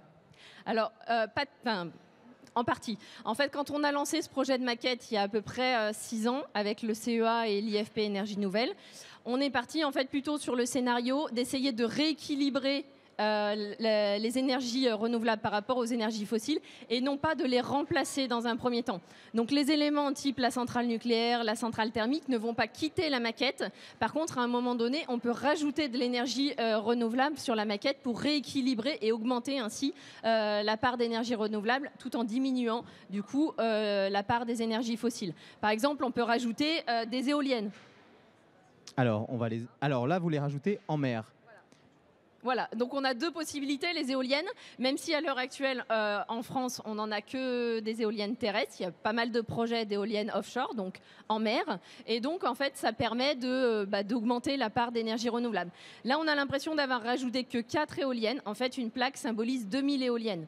Donc Ah oui, donc il en faut euh, un certain nombre pour pouvoir euh, compenser un petit peu. voilà, ouais, à peu près cette plaque euh, représente 2 à 3 euh, de, de gains euh, en énergie renouvelable selon si on les met sur terre ou en mer. D'accord. Et alors, bon, alors on peut agir sur euh, les, les- les sources d'énergie. Euh, Est-ce qu'il y a euh, d'autres façons de euh, équilibrer cette, euh, cette, euh, cette énergie, cette euh, énergie qu'on consomme? Bah oui, tout à fait. Il y aurait une bonne, euh, une bonne façon de la rééquilibrer, c'est en baissant en fait euh, nos consommations d'énergie. Parce qu'ainsi, quand on baisse nos consommations, bah, on a moins besoin de producteurs d'énergie. Et euh, la grosse part sur laquelle on peut jouer, c'est tout ce qui est transport. Là, sur la maquette, vous avez des plaques qui sont des voitures euh, plutôt classiques. Et en fait, on a un module sur cette maquette qui lance des défis pour essayer de réduire euh, la part d'émissions euh, liées au transport. En rajoutant notamment du transport en commun, donc euh, des bus, des trams, euh, de la voiture auto partagée, euh, du véhicule électrique, et en jouant ainsi sur, bah, nos moyens, nos méthodes de déplacement, ça permet de, baisser les, consommations, et comme ça, après, on, a moins de besoin de produire d'énergie. D'accord. Bon, alors là, on peut pas le faire tout de suite parce qu'on a un petit problème technique, mais euh, donc on aurait rajouté effectivement euh, des véhicules, des transports partagés, euh, des véhicules électriques et des transports partagés, et on aurait vu notre consommation d'énergie diminuer. Et donc, on n'aurait pas eu besoin de, fournir autant d'énergie et de trouver autant de sources d'énergie pour la produire. Oui, tout à fait. Et puis surtout, il y a d'autres petits gestes qu'on peut faire au quotidien chez soi. Ne serait-ce déjà que baisser d'un degré le chauffage, euh, changer ses ampoules, c'est des choses qu'on peut faire. Après, il y a d'autres actions qui sont euh, pas forcément des actions personnelles, mais plutôt des actions collectives, où certaines communes se lancent dans des réflexions pour euh, bah, changer les éclairages publics, en allumer moins ou les éteindre pendant certaines parties de la nuit. Très bien. Bon, bah voilà, on a quelques conseils maintenant pour agir sur notre consommation d'énergie. Et je vais repasser la parole à Fred, qui est retourné sur la scène. Merci beaucoup Jean pour ces conseils sur l'énergie. Nous allons poursuivre. On a parlé de la science autour du livre, on a parlé de la science autour du film, on va parler de la science dans le débat public. Vous l'avez compris, c'est évident. Aujourd'hui, on a envie que la science soit vraiment en osmose avec la société et que tout le monde puisse débattre des grands sujets. Donc voici le dernier grand thème que nous allons aborder pour cette fin d'émission. Et pour commencer, nous allons parler d'un partenariat entre le ministère de la Recherche et d'un média qui s'appelle, vous le connaissez peut-être, ou même sûrement, The Conversation. C'est bien ça Bonjour, je vous présente mes invités, Elodie Chéroux, donc euh, du département de la culture scientifique et des relations avec la société au ministère. Je fais plus court maintenant, je dis ministère de la Recherche, ça nous laisse plus de temps pour euh, discuter ensemble. Et juste à côté de vous, Elodie, il y a Caroline Nourry, vous êtes directrice générale de The Conversation. C'est bien ça. J'aimerais connaître l'objectif de ce euh, partenariat. Alors l'objectif pour le ministère, euh, c'est avant tout de partager les connaissances issues des laboratoires de recherche. Donc on a souhaité vraiment, à travers cette fête de la science, donner euh, la voix aux chercheurs euh, pour justement illustrer tous les grands thèmes qui sont traités à travers les événements qu'on retrouve partout en France, dans les régions. On a travaillé étroitement avec les coordinations régionales de la fête de la science qui montent et organisent tous ces événements sur le terrain. Parce qu'il y a des grandes thématiques dans les régions. Il y a des grandes thématiques et surtout une multitude de sujets euh, qui vont des sciences dures, mathématiques, physique, biologie, mais aussi les sciences humaines et sociales. Donc c'est une grande diversité euh, qui est illustrée justement à travers ce, partenariat. D'accord. Et euh, pour voir comment fonctionne ce partenariat, on va essayer de découvrir un petit peu mieux le média. Donc Caroline, avant de vous donner la parole, j'aimerais qu'on voit ce qu'on appelle une petite bande-annonce de votre média, The Conversation. C'est parti. Bonjour, nous sommes The Conversation, une autre façon de faire du journalisme. Maintenant, plus que jamais, un média impartial est essentiel. Nous croyons au fact-checking, nous croyons à l'expertise, nous croyons que l'information doit être ancrée dans les faits, nous croyons qu'une information vraiment indépendante est libre de toute contrainte publicitaire. C'est ce qui nous rend uniques. Nous profitons des vastes sources de savoir disponibles dans nos universités. Journalistes et académiques travaillent en collaboration. Ensemble, ils couvrent l'actualité par l'analyse et la mise en perspective et produisent des articles accessibles, le tout gratuitement. Des millions de lecteurs font confiance à The Conversation, car nous sommes un des seuls médias français à but non lucratif proposant un site gratuit et sans publicité commerciale.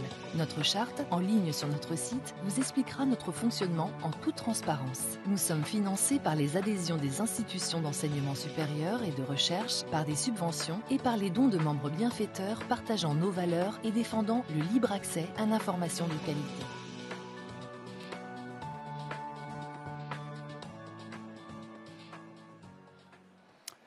Donc, euh, Caroline, oui, cette euh, revue en ligne, elle s'appuie sur euh, deux piliers, en fait. Le journalisme d'un côté et de l'autre côté, un peu des, des spécialistes, des experts qui, qui présentent l'analyse. Exactement. Euh, juste avant peut-être d'expliquer que The Conversation France euh, fait partie d'un réseau Oui. euh, international qui a six sites euh, dans le monde, que c'est une initiative qui a été créée il y a six ans en Australie. En Australie, c'est ça Ouais. Et qui a commencé à faire le tour du monde. Et qui a fait le tour du monde en Grande-Bretagne, aux États-Unis, en Afrique du Sud, en France, où on existe depuis deux ans, Ouais. qui s'est lancé au Canada il n'y a pas très longtemps et qui devrait ouvrir en Espagne euh, en janvier prochain.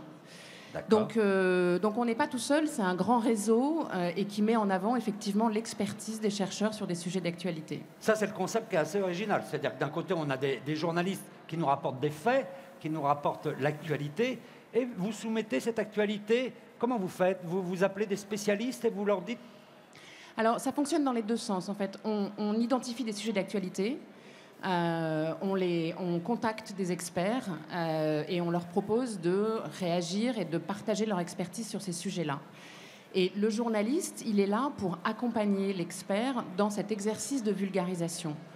Euh, mais de la même façon... c'est un médiateur. C'est un médiateur, exactement. Et de la même façon, l'enseignant-chercheur va nous proposer sa propre actualité, l'actualité de sa recherche, euh, parce qu'on travaille sur des sujets d'actualité chaude, mais aussi sur des sujets d'actualité moins chaude. Euh, tous sont concernants, tous nous intéressent, et à partir du moment où ils sont mis à la portée du grand public, bah, ils ont leur place dans le débat public. Et pas seulement les sciences. Et pas seulement les sciences. En fait, on est, on est un média généraliste. Donc, on, on traite des sujets aussi bien d'économie, de politique, d'éducation, de sciences, de santé. On est vraiment tout territoire d'information. Et, on se considère comme un média, mais beaucoup comme un passeur de savoir. C'est-à-dire que notre rôle, c'est de décloisonner les savoirs, d'aller chercher l'expertise dans ces lieux académiques et de la mettre à disposition du grand public, de faire peser le débat, euh, l'expertise scientifique dans le débat public. Ça, c'est quelque chose de très important. Et pour ça, on a notre site, mais on pousse les contenus dans les autres médias. On va pousser à la republication sur les points. .fr, du Monde, du Figaro, du Oui. Point, de Sled, ce qui fait que ces papiers qui finalement sortent de l'université, vous les retrouvez tels quels, en entier, sourcés avec la mention du chercheur dans des médias très grand public à forte audience. D'accord, donc faire rayonner un peu la connaissance et, euh, et tout ça euh, Et à gratuitement l'époque des fake pub. news, c'est très important. gra- gratuitement et sans pub. C'est le- Gratuitement, pari, c'est le défi. Exactement. Ouais. D'accord, alors parlez-nous un peu de ce partenariat-là. À l'occasion de la fête de la science, qu'est-ce qui se passe concrètement? Alors, d'abord, on est ravis d'être partenaire de cette édition de la Fête de la Science parce que pour nous, ça a beaucoup de sens. On est un passeur de savoir, on est un diffuseur de savoir. Donc, euh, contribuer à la Fête de la Science, c'était pour nous très logique. En quoi ça consiste? Ça consiste à aller sur les thèmes euh, que sont les thèmes de la Fête de la Science Qu'on va retrouver en région. Qu'on va retrouver dans toutes les régions, d'aller chercher des contenus, d'aller interroger euh, euh, des enseignants-chercheurs sur ces thèmes-là, qu'ils écrivent des papiers, qu'ils enregistrent des podcasts, parce qu'on a aussi des formats podcasts, Ouais, il y a les deux. sur une multitude de sujets, euh, vulga- vulgariser cette expertise-là. On peut prendre quelques exemples Bien sûr. Alors, euh, on a un exemple assez drôle qui est un podcast sur euh, la- la- la- le, le son dans l'espace. Le son dans Euh, l'espace, mais ça me dit rien, ça. Il n'y a pas de son dans l'espace. Et ben, il n'y a pas de son dans l'espace, bien évidemment, sauf que quand vous regardez des Sauf vieux dans films, Tintin, peut-être. sauf dans Star Trek, Ah, Star sauf Trek aussi. dans La Guerre des Étoiles, Ah où ouais. là, il y a du son dans l'espace. Et en fait, un chercheur qu'on a, euh, voilà, qui a écrit un papier puis qui a aussi fait un podcast, nous explique, euh, c'est un chercheur en astrophysique de l'Université de Lyon, il nous explique qu'il n'y a pas de son dans l'espace. En fait, le son, c'est des molécules dans l'air, une multitude de molécules. C'est comme un effet de bouche à oreille. Ça, ça, ça, ça répercute le son à l'infini, mais dans l'espace, il n'y a pas assez de molécules, donc il n'y a pas de son. Bah non, mais sinon on ferait des films muets. Hein. Voilà, donc aujourd'hui, pour, euh, voilà, pour les spectateurs, on met du son dans l'espace, mais il explique aussi que les derniers films type Interstellar ou Seul sur Mars se rapprochent un peu plus de la réalité, même si on n'y est pas encore tout à fait. Donc ça, c'est très À intéressant. partir du moment où on est dans un scaphandre euh, et qu'il y a de l'air, euh, là on peut com- commencer à discuter avec le voisin, mais Ouais, sinon c'est pas possible. Mm. D'accord, donc ça c'est un exemple. Ça, c'est un exemple. Un autre exemple euh, sur un domaine tout à fait différent, c'est sur euh, l'eau potable. Ouais. Donc il y a un chercheur, euh, bah, là aussi il est à Lyon, un docteur en génie civil, qui pose la question euh, des, des- des idées reçues sur l'eau potable. En fait, il explique que euh, tout le monde a un avis sur l'eau aujourd'hui. Est-ce qu'elle est polluée, pas polluée? Est-ce qu'elle a bon goût? Est-ce qu'elle a mauvais goût? Mais qu'il y a une vraie méconnaissance sur les circuits, euh, sur la logistique de l'eau, qui amène un certain nombre d'idées reçues qui sont assez fausses. Typiquement, on a tous le geste citoyen de euh, fermer le robinet quand on se lave les dents. Bon, c'est bien, mais en fait, ça économise très peu d'eau et c'est beaucoup, beaucoup, beaucoup moins polluant que de lancer sa cigarette dans la nature qui, bah, ce mégot de cigarette va consommer des milliers de mètres cubes d'eau. Et il explique que, euh, voilà, aujourd'hui, dans les grandes villes, l'eau est de très bonne qualité et que on nettoyer euh, sa voiture avec de l'eau de ces circuits-là, voilà, n'est pas forcément un geste non écolo. D'accord. C'est intéressant parce que ça permet euh, d'aller plus loin sur ce qu'on sait déjà. Ça permet d'avoir un autre regard, souvent assez original. Et puis ça permet aux scientifiques euh, tout simplement de, le- de leur donner la parole. Et puis de lutter aussi d'une certaine façon, c'est ce que vous faites à travers votre revue, de lutter contre toutes ces mauvaises informations qu'on reçoit des fois aussi. Voilà, et c'est voilà. d'a- d'essayer d'avoir cette rigueur à la fois scientifique et journalistique. Exactement. Notre, euh, notre média, on pense qu'il a toute sa place à cette époque de, voilà, de faits controversés, de fake news, comme on les appelle. Et voilà, bah, aller retrouver les papiers, euh, les, les 50, 60 papiers qu'on a fait autour de la fête de la science euh, jusqu'à dans 15 jours. Eh ben voilà, allez sur le site The Conversation pour en savoir plus, pour entendre les scientifiques s'exprimer sur tous ces grands sujets qu'on va retrouver dans des thématiques en région sur la fête de la science cette année. Merci beaucoup et bravo hein, d'avoir participé merci euh, et de, de vous associer pour euh, cette fête de la science. Ça nous ouvre encore un peu plus l'esprit. Merci. Et on va retrouver Elodie, une autre Elodie. On va retrouver euh, notre amie Elodie sur, euh, avec Estelle, je crois. Je suis en très bonne compagnie. Et puis alors là, ici, je suis au point rencontre avec Estelle. Ça s'est calmé énormément parce qu'il y a encore quelques minutes, elle était, elle croulait sous les vagues et, les vagues de, collégiens et de lycéens qui étaient en visite et qui, ont posé beaucoup beaucoup de questions. Estelle, comment ça va après ce round, ces- tous ces rounds avec de, questions avec les enfants? Ah, Ça va très bien. euh, C'était euh, c'était avec plaisir que j'ai partagé ce moment avec les enfants. C'est vrai que c'était, euh, ça demandait beaucoup d'énergie, d'être mobilisé un peu partout. Plus qu'un euh, match euh, C'est différent, c'est différent. C'est pas, c'est pas la même, euh, la même chose qu'un match, mais, mais ça, demande quand même pas mal d'énergie, un peu comme un entraînement. Vous n'êtes pas trop rincé là, ça va aller. Hydratation, étirement. euh. Hydratation, j'ai pris euh, ma petite collation hein, et, et c'est reparti. Alors, quelles étaient les questions qui sont le plus revenues là, pendant ces deux heures que vous avez passées avec les enfants? Alors, j'ai eu pas mal de questions autour de mon double parcours. Comment concilier euh, science et sport, euh, et notamment des études scientifiques et du sport de haut niveau. Euh, aussi sur euh, pourquoi, pourquoi ce sport. Des questions aussi autour du fait que, voilà, combien de compétitions j'ai gagné, ça, on, on me l'a beaucoup posé. et. Autour de la science, euh, j'ai eu des questions aussi sur euh, pourquoi, pourquoi j'en suis arrivée là, pourquoi j'ai eu envie de, de, faire un métier scientifique. Donc c'est vrai que c'était assez varié, c'est ça qui était bien. Euh, Il y avait des questions pour le sport, il y avait des questions pour les sciences, des questions aussi un peu pour ma vie. et, euh, Ah, c'est des euh, petits curieux. Des petits curieux, ouais, ouais, mais, euh, mais c'est- bien, c'est bien. C'est c'est ce qu'on favorise ici, la curiosité. Et alors, tu as senti qu'il y, avait des- qu'il y avait des vocations là, un peu naissantes, des gens qui te regardent avec des grands yeux, que ce soit soit sur le sport, soit sur ton métier d'ingénieur, ou alors les deux, des- qui avaient envie de concilier les deux? Oui, oui, oui. J'ai vu qu'il y, avait, euh, qu'il y avait une envie de, de connaître, de savoir comment ça se passait. Donc forcément, il y avait des sportifs qui m'avaient dit qu'ils, faisaient du sport, qui me demandaient si c'était possible finalement de, de... Qu'est-ce qui était possible de faire en même temps que le sport? Bah, J'aurais dit tout. Tout est possible en même temps que le sport. Et, euh, et beaucoup d'envie, beaucoup de curiosité et d'intérêt euh, vis-à-vis de mon, mon, mon parcours. Donc ça fait, ça fait vraiment plaisir de voir euh, enthousi- tout cet, cet enthousiasme autour, euh, autour de ce parcours. Et alors, t'en as qui t'ont demandé des conseils? On m'a demandé des conseils. on m'a demandé ce que nécessitait ce- dont on avait besoin pour euh, concilier les deux, donc qu'est-ce que ça a demandé? Donc j'ai répondu, voilà, une organisation. euh, quand on a un planning aussi chargé, euh, puisque certains m'ont demandé c'est combien d'heures- d'entraînement par semaine, donc j'ai répondu c'est 20 heures. Et tout de suite on me dit, mais avec, euh, avec, Ça, avec 35 heures de l'école, c'est compliqué, non? Oui, c'est compliqué, mais on... Il y a des moments où on fait des, des, cons- des- des choix, où des moments où on favorise plus l'un, des moments où on favorise- plus l'autre. Et puis c'est une, une organisation et je leur, ai, je leur ai surtout dit que quand on a envie, quand on aime euh, ce qu'on fait, euh, on- quand on le fait avec plaisir, et ben ça, ça pousse à, à réussir euh, ce qu'on fait. Bah alors, eh ben, quand vous faites avec plaisir, c'est quoi vos vos prochains projets là? Vous en avez d'autres euh, Vous cumulez les mandats là euh, sur tous les plans euh?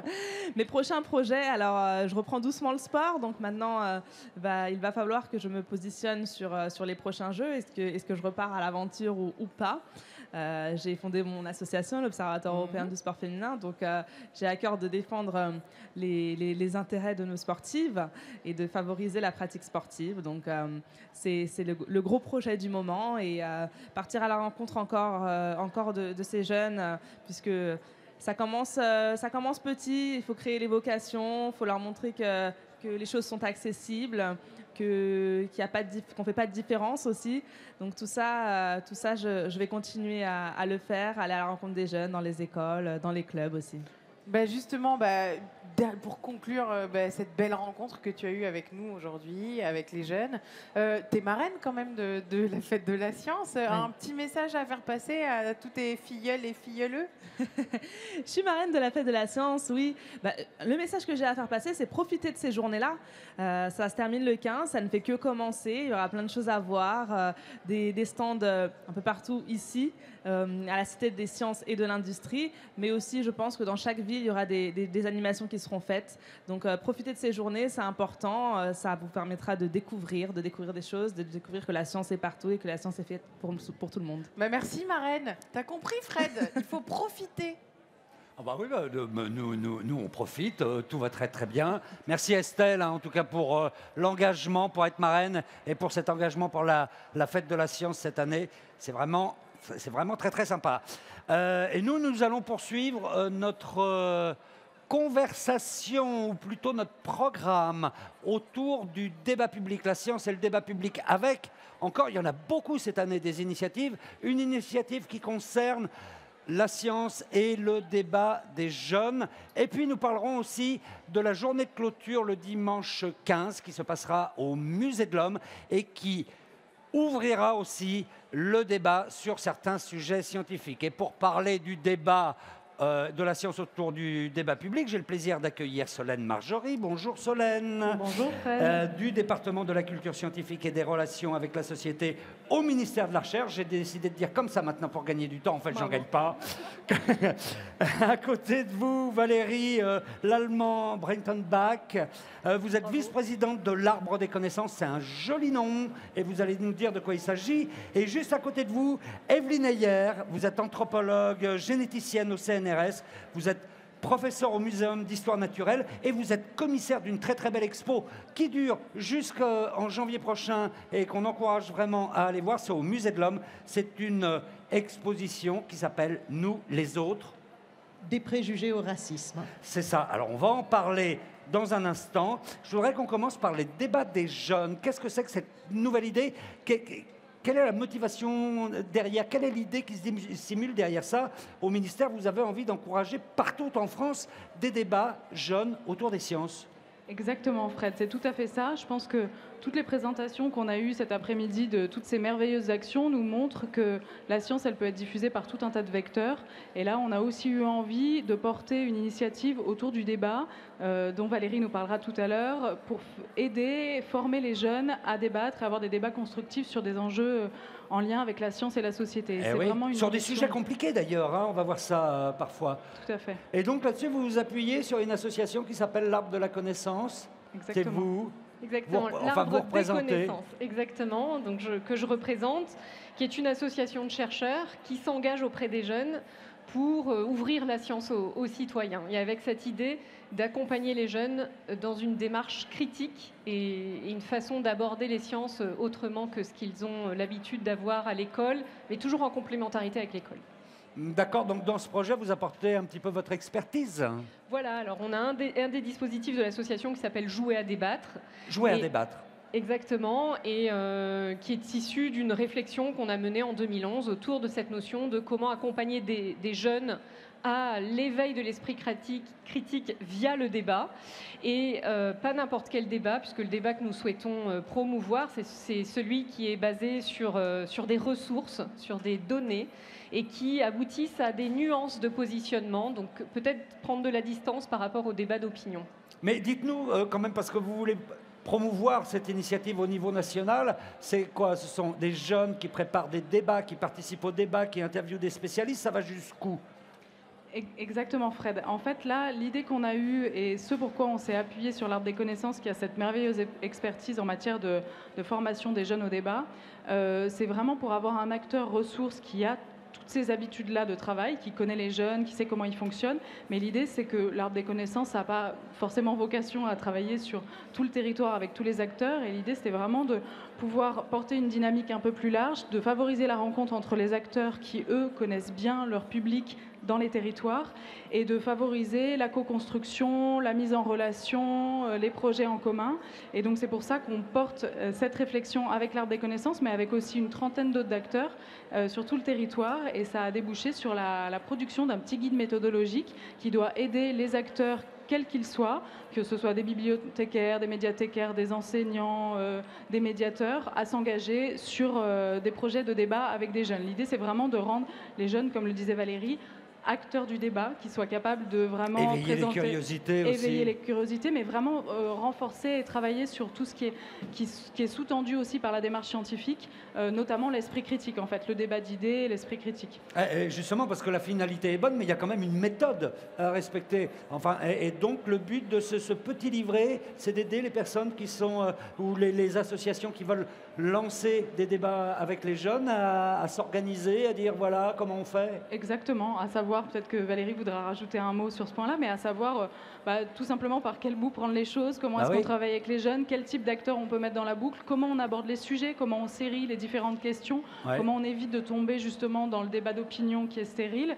Voilà, c'est pour donner vraiment des clés. Il y a de nombreux acteurs qui travaillent sur ces sujets-là, qui ont aussi d'autres méthodologies, Ouais. d'autres expertises, et il fallait vraiment euh, bah, créer l'émulation, euh, mettre les gens en commun, et ça a permis de ce petit guide méthodologique qui, est, qui a le mérite d'exister, qui n'est pas forcément la réponse à toutes les solutions, mais qui donne une base Qui- intéressante. Qui, qui donne une base. On peut le trouver où concrètement On ce peut le trouver livret sur. euh, c'est une très bonne question. On peut le trouver euh, sur le site de l'Arbre des connaissances. Mais Le site de l'arbre des connaissances, dites-nous, c'est comment C'est- arbre des connaissances. euh, euh, ok, d'accord. Bon, cherchez sur euh, un moteur de recherche. Arbre de, des connaissances.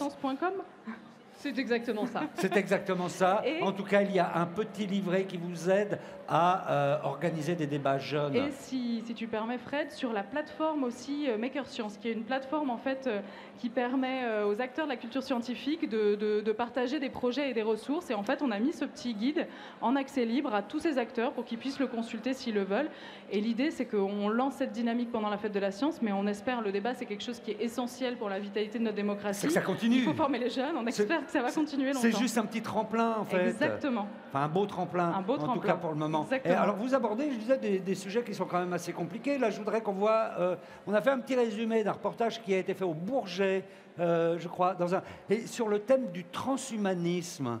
Quand même pas si simple, mais forcément un sujet d'actualité. On va regarder tout de suite comment ça s'est passé et surtout, on va écouter quelques réactions de jeunes. Au lycée Germaine Tillon du Bourget, les élèves de seconde mènent des projets IDIS, c'est-à-dire interdisciplinaires. Par exemple, ils ont abordé conjointement en français et en physique la question du transhumanisme. Les lycéens ont pris connaissance et débattu de l'homme augmenté. Dans notre groupe, nous ne sommes pas d'accord avec l'idée de l'humain augmenté pour plusieurs raisons. Au début, dans mon groupe, nous n'avions pas d'avis concret sur la question de l'humain augmenté et réparé parce que nous ne savions pas en quoi cela consistait. Nous pensons que l'utilisation de technologies visant à aider les personnes ayant un handicap est une bonne chose. L'humain réparé nous paraît être une bonne idée et un progrès pour la société. Nos avis sur le sujet sont mitigés. Au départ, nous trouverions cela étrange que des êtres humains puissent implanter des objets électroniques. Selon nous, l'humain augmenté ne concerne pas tout le monde car ce ne sont pas toutes les catégories sociales qui vont en bénéficier.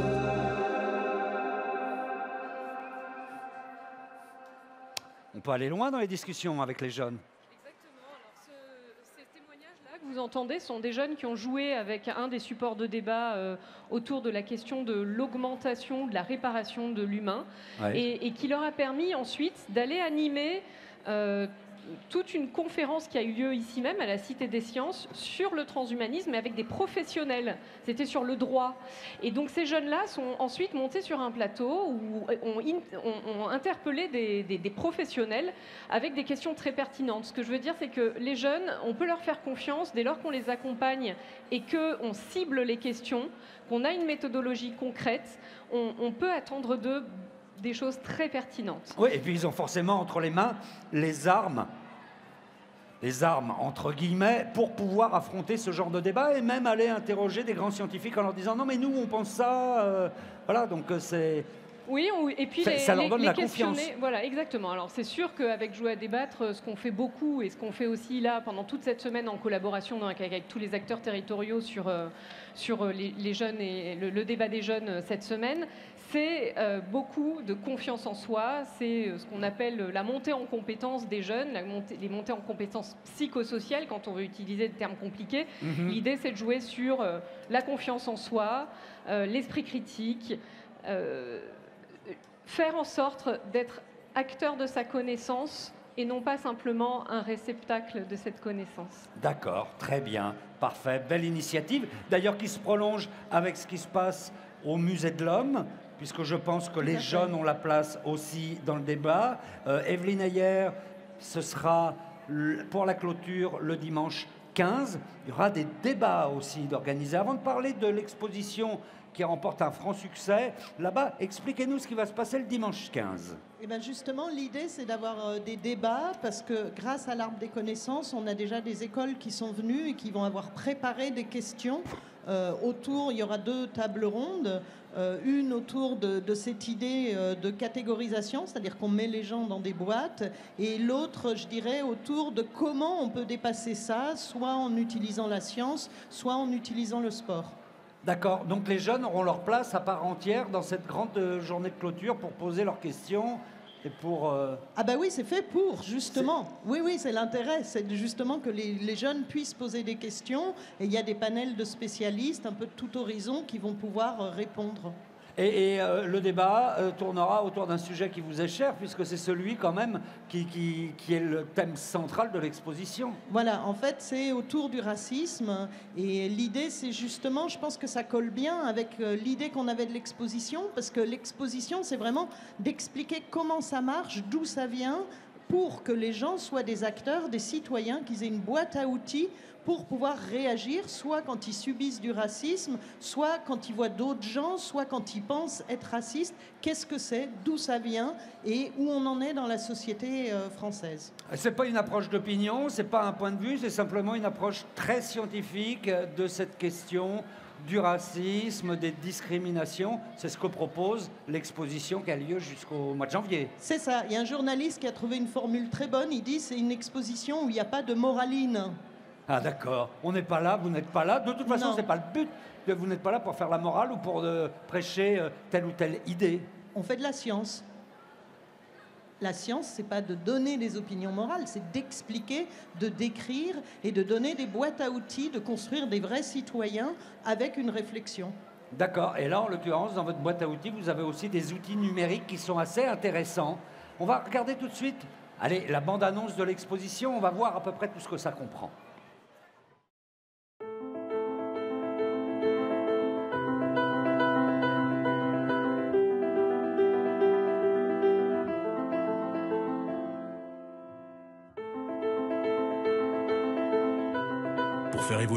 Le Musée de l'Homme propose Nous et les autres, une exposition citoyenne qui apporte un éclairage scientifique sur le racisme.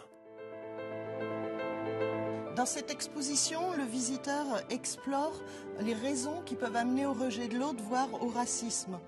C'est une invitation pour le mieux vivre ensemble. Pour la promouvoir, le musée invite des personnes de toutes les origines à se joindre à un ami pour partager ensemble ce qui les rend si uniques. Leurs couleurs. Avec l'aide d'un studio de création digitale, le musée a créé une expérience interactive unique, Chroma. Une application mobile très spéciale qui permet aux gens de créer leurs propres affiches de l'exposition en utilisant les couleurs de leur visage. Ces affiches ont été conçues par l'artiste international Noma Bar. Iconic posters that only use two colors. So each time people come together to take picture, their skin tones are digitally applied to the visuals.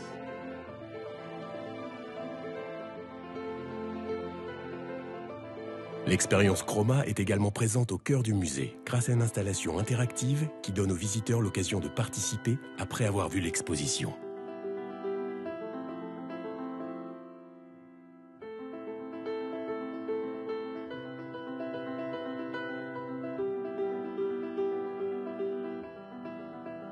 Alors vous aussi, créez votre propre affiche avec un ami ou un inconnu et partagez-la sur les réseaux sociaux, comme Philippe Stark et Jasmine Stark, Jean-Pierre Jeunet et Sandrine, Angoun et Chris, Julie Zenati et Slam. Ces affiches seront même imprimées en temps réel et diffusées à travers Paris. Pour aller vers l'autre, au-delà des apparences et dépasser les préjugés.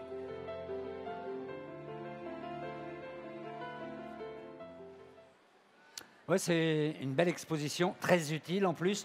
Elle, euh, elle a commencé au printemps dernier. Ça va jusqu'à quand? Ça va jusqu'au 8 janvier, donc dépêchez-vous. Le temps file. hein. D'accord. Et alors, pour cette passionnante journée de clôture, comment fait-on si on veut y aller? Il faut s'inscrire sur le site du Musée de l'Homme. D'accord, il y aura pas mal de personnalités, des gens passionnants à découvrir. On ne peut pas tous les, les, les citer. Il y aura Estelle aussi, la Bah marraine. oui, notre marraine, parce que justement, on veut parler du sport aussi, on veut parler du sport et de la science, parce que euh, dans le sport, il y a du racisme, et c'est intéressant aussi de débattre au- autour du sport de ces questions de racisme. D'accord, très bien. Et vous, vous encouragez les débats sciences des jeunes euh, partout en France? Il y en a partout en France. Valérie, je pense, va parler d'un en particulier. Et par contre, euh, au-delà de- du 15 octobre, l'opération de clôture, euh, on peut en retrouver euh, dans une dizaine de villes en France, à Toulouse, à Caen, à Marseille, à Dreux, voilà. Et tout est en ligne sur le site de la Fête de la Science.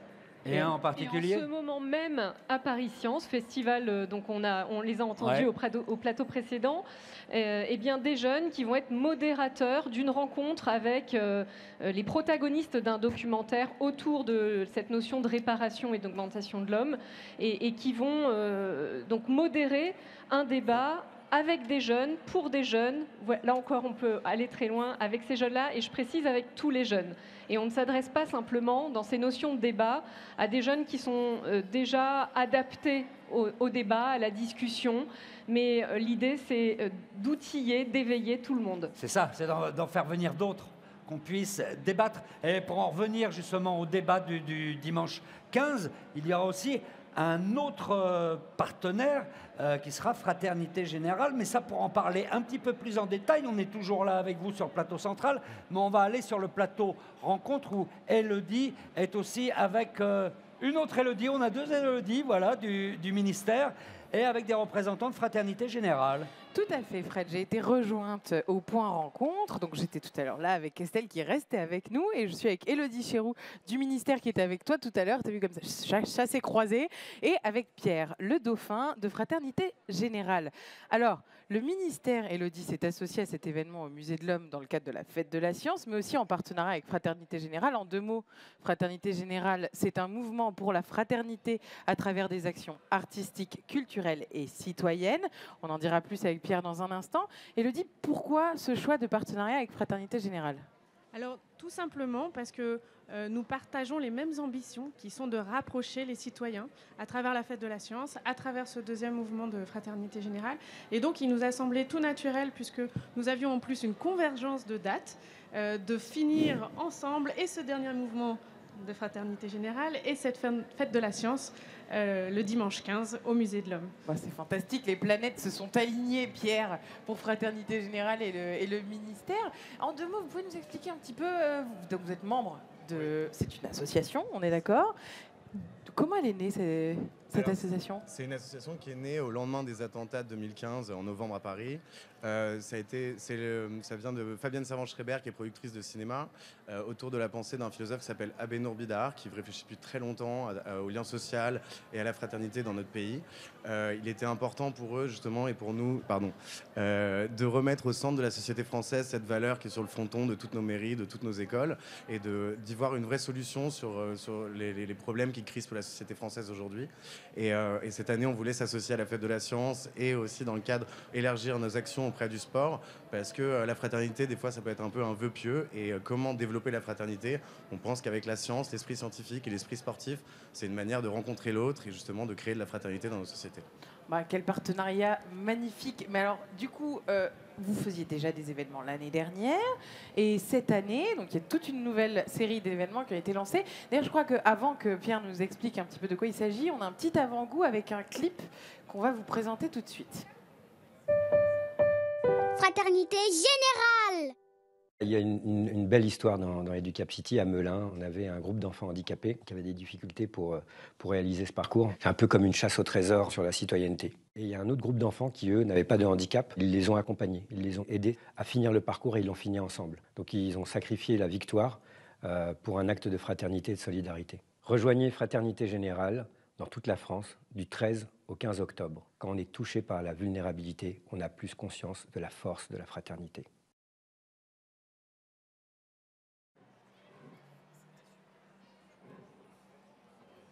Pierre, qu'est-ce qu'on vient de regarder là? Alors là, on vient de voir le premier des clips d'une série de clips qui va être diffusée à la télé à partir, euh, d'ailleurs, qui, qui a déjà commencé à diffuser à partir du 1er octobre jusqu'au jusqu'au 30 octobre sur toutes les chaînes de télévision. Il y a huit clips. Il y a euh, euh, donc Riyad Salem, il y a Aya Sissoko aussi, ancienne boxeuse. Euh, il y a Hubert Reeves, Igar Morin. Il y a plein de personnalités. Stéphane Bern qui justement en fait racontent devant la caméra leur définition de la fraternité. Donc on a intitulé ça la fraternité selon et euh, chaque personne explique euh, pour lui ce que c'est que la fraternité. Sacré casting. Moi, je me permets de continuer un petit peu euh, ce casting par Estelle, quand même. Hein, on a une championne olympique. Elle doit la fraternité selon une championne olympique, ça doit être quelque chose quand même. Oui, la fraternité, euh, la fraternité dans le sport, euh, on, on la retrouve euh, souvent euh, entre, coéquipiers, quand on va s'encourager sur des compétitions, et puis aussi quand on, accueille des, sportifs et qu'on partage un moment avec eux, qu'on leur partage quelques conseils, qu'on les encourage à, poursuivre leur entraînement. Euh, La fraternité dans le sport, je pense que euh, c'est un bon milieu où on, voit beaucoup d'exemples de fraternité par, ça, par ce partage, par cet encouragement, par cette, ces, ces moments parfois difficiles, ces phases où il faut se, se dépasser et se, se donner, où on a, on a les camarades à côté qui sont là pour nous boost- booster, pour nous boo- booster pardon, et pour nous pousser. D'accord. bah, Peut-être que tu peux nous donner un exemple de une petite anecdote aussi de fraternité. T'as sûrement ça en stock? Oui, oui. Et euh, je pense que la, la- la- la belle anecdote de fraternité que j'ai eue, c'était pendant les Jeux. Euh, pendant les Jeux, euh, on, on formait une équipe, une équipe qu'on a, qu'on a surnommée la Team Solide. Et euh, c'était comme notre famille pendant les Jeux. Et euh, malgré euh, la défaite de certains, euh, ils ne s'arrêtaient pas à ça. Ils continuaient à encourager les autres qui poursuivaient dans l'aventure et qui poursuivaient vers, le, prochain tour. Donc c'est là où, j'ai vu beaucoup de fraternité dans cette équipe, où on a passé beaucoup de moments ensemble et où on comprenait les difficultés de chacun, mais où on avait un seul message à faire passer, c'est voilà, regardez-nous, on est là pour gagner, on est là pour que la France gagne. Bah, c'est très beau, c'est une belle histoire. Pierre, ces histoires de fraternité, c'est pas la seule chose qui va se passer euh, cette année pour cette deuxième édition. Non, non, loin de là. En gros, il y aura plus de 600 actions partout en France. Euh, il y aura du street art, euh, il y aura euh, des rencontres fraternelles, des débats autour de la fraternité, autour du racisme. Il y aura Comme celle du, du 15. et, comme- et on finit ensemble, tous ensemble, le 15, où justement il y aura Estelle, mais il y aura aussi des scientifiques, des sociologues qui viendront parler justement de, de ce rôle que peut avoir le sport ou la science pour euh, comprendre l'autre et pour justement euh, créer une société plus fraternelle. Bah, Elodie, parce que vous êtes la, la parole du, du ministère, euh, c'est les, les sciences, vous êtes la voix de la science à cette table. Euh, finalement, euh, est-ce que les expériences qui ont été partagées tout à l'heure dans ce clip par Estelle à l'instant, ces expériences sportives, ça se traduit exactement de la même façon en sciences? Alors on trouve beaucoup de points communs parce que se dépasser, euh, la dimension internationale, le challenge, aller dépasser ses limites, effectivement, euh, c'est des le quotidien des chercheurs, effectivement. Euh, L'inconnu, aller toujours pour plus, plus loin repousser la connaissance. Euh, donc oui, oui, c'est aussi ce qu'on retrouve chez les, chez les scientifiques qui travaillent aussi beaucoup en équipe. Donc là aussi, il faut qu'ils se soutiennent mutuellement pour voilà, faire des publications et euh, être toujours euh, au top sur la scène internationale. Donc on- retrouve aussi beaucoup de, points communs. Bien évidemment, il y a aussi toute la démarche scientifique qui est, euh, le propre de la science, où il faut toujours remettre en question les postulats, les hypothèses, tout ce qu'on peut euh, mettre à l'issue des, des connaissances et des résultats scientifiques qu'on qu'on découvre euh, chaque jour. Donc euh, c'est, je pense, un état d'esprit qui est complètement partagé effectivement entre la science cet et le état sport. d'esprit finalement de remise en question, ça doit être pareil dans le sport, hein, parce qu'il y a des moments où on gagne pas. Il y a des moments où on ne gagne pas, il y a des moments où, où même pour progresser, il faut se remettre en question soi-même. Euh, peu importe le moment, peu importe que ce soit un moment de victoire ou un moment d'échec, il faut constamment se remettre en question pour euh, aller chercher le meilleur de soi euh, à chaque compétition. Et puis finalement, bah, la conclusion parfaite, c'est que c'est peut-être dans ce qu'on parle de victoire, c'est beau les victoires, mais finalement c'est peut-être dans ces moments-là que la fraternité elle compte le plus. La fraternité compte beaucoup euh, pendant les victoires, la fraternité compte beaucoup aussi pendant les échecs. Euh, moi, c'est aussi ce qui m'a permis, euh, pendant des temps d'échecs, de, de- de passer, passer le cap et de se dire, de relativiser et de se dire que j'arriverai la prochaine fois. C'est qu'on on a, on a beaucoup de personnes qui nous entourent euh, et, euh, et c'est des moments aussi de fraternité où on nous pousse et on nous permet de relativiser et, de, de- et on nous dit que, que voilà, c'est pas c'est pas une fatalité, euh, on pourra faire mieux la prochaine fois et, et ça fait toujours du bien d'avoir euh, ces temps de fraternité. Bah, merci beaucoup pour ce beau moment de fraternité partagée. Et puis, espérons que nous continuerons cet événement dans la fraternité. Ça va être hyper chouette. Ben oui, oui, oui, oui, oui, bien sûr. Et je crois qu'Evelyne, euh, on vous écoutait avec attention. Evelyne Ayer avait euh, un mot à rajouter. Oui, ben, l'idée du débat, justement, ça va être de montrer comment tant le sport que la science peuvent aider à, à dépasser les préjugés et à sortir de, de ce racisme.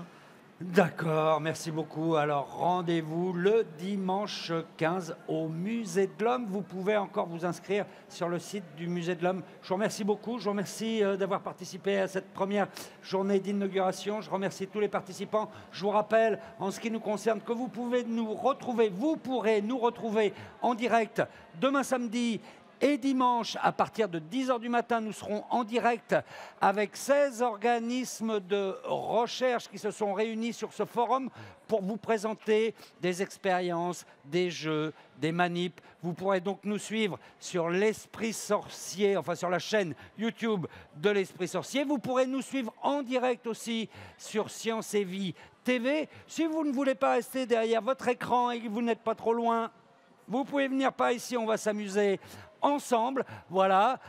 Bonne fête à tous, bonne fête de la science.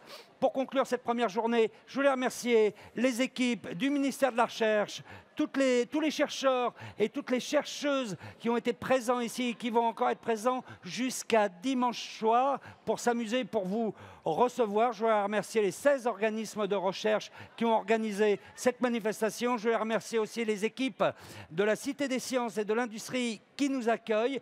Et puis bien sûr, notre chère équipe de l'Esprit Sorcier et de VO Live qui assure à la fois la réalisation éditoriale et technique de ces trois jours. Voilà, bonne fête de la science à tous et à demain. Ciao. Round one. Combien y a-t-il de manifestations en France pour la fête de la science? C'est 6000 animations dans 2500 lieux différents et 150 villages des sciences. Round two.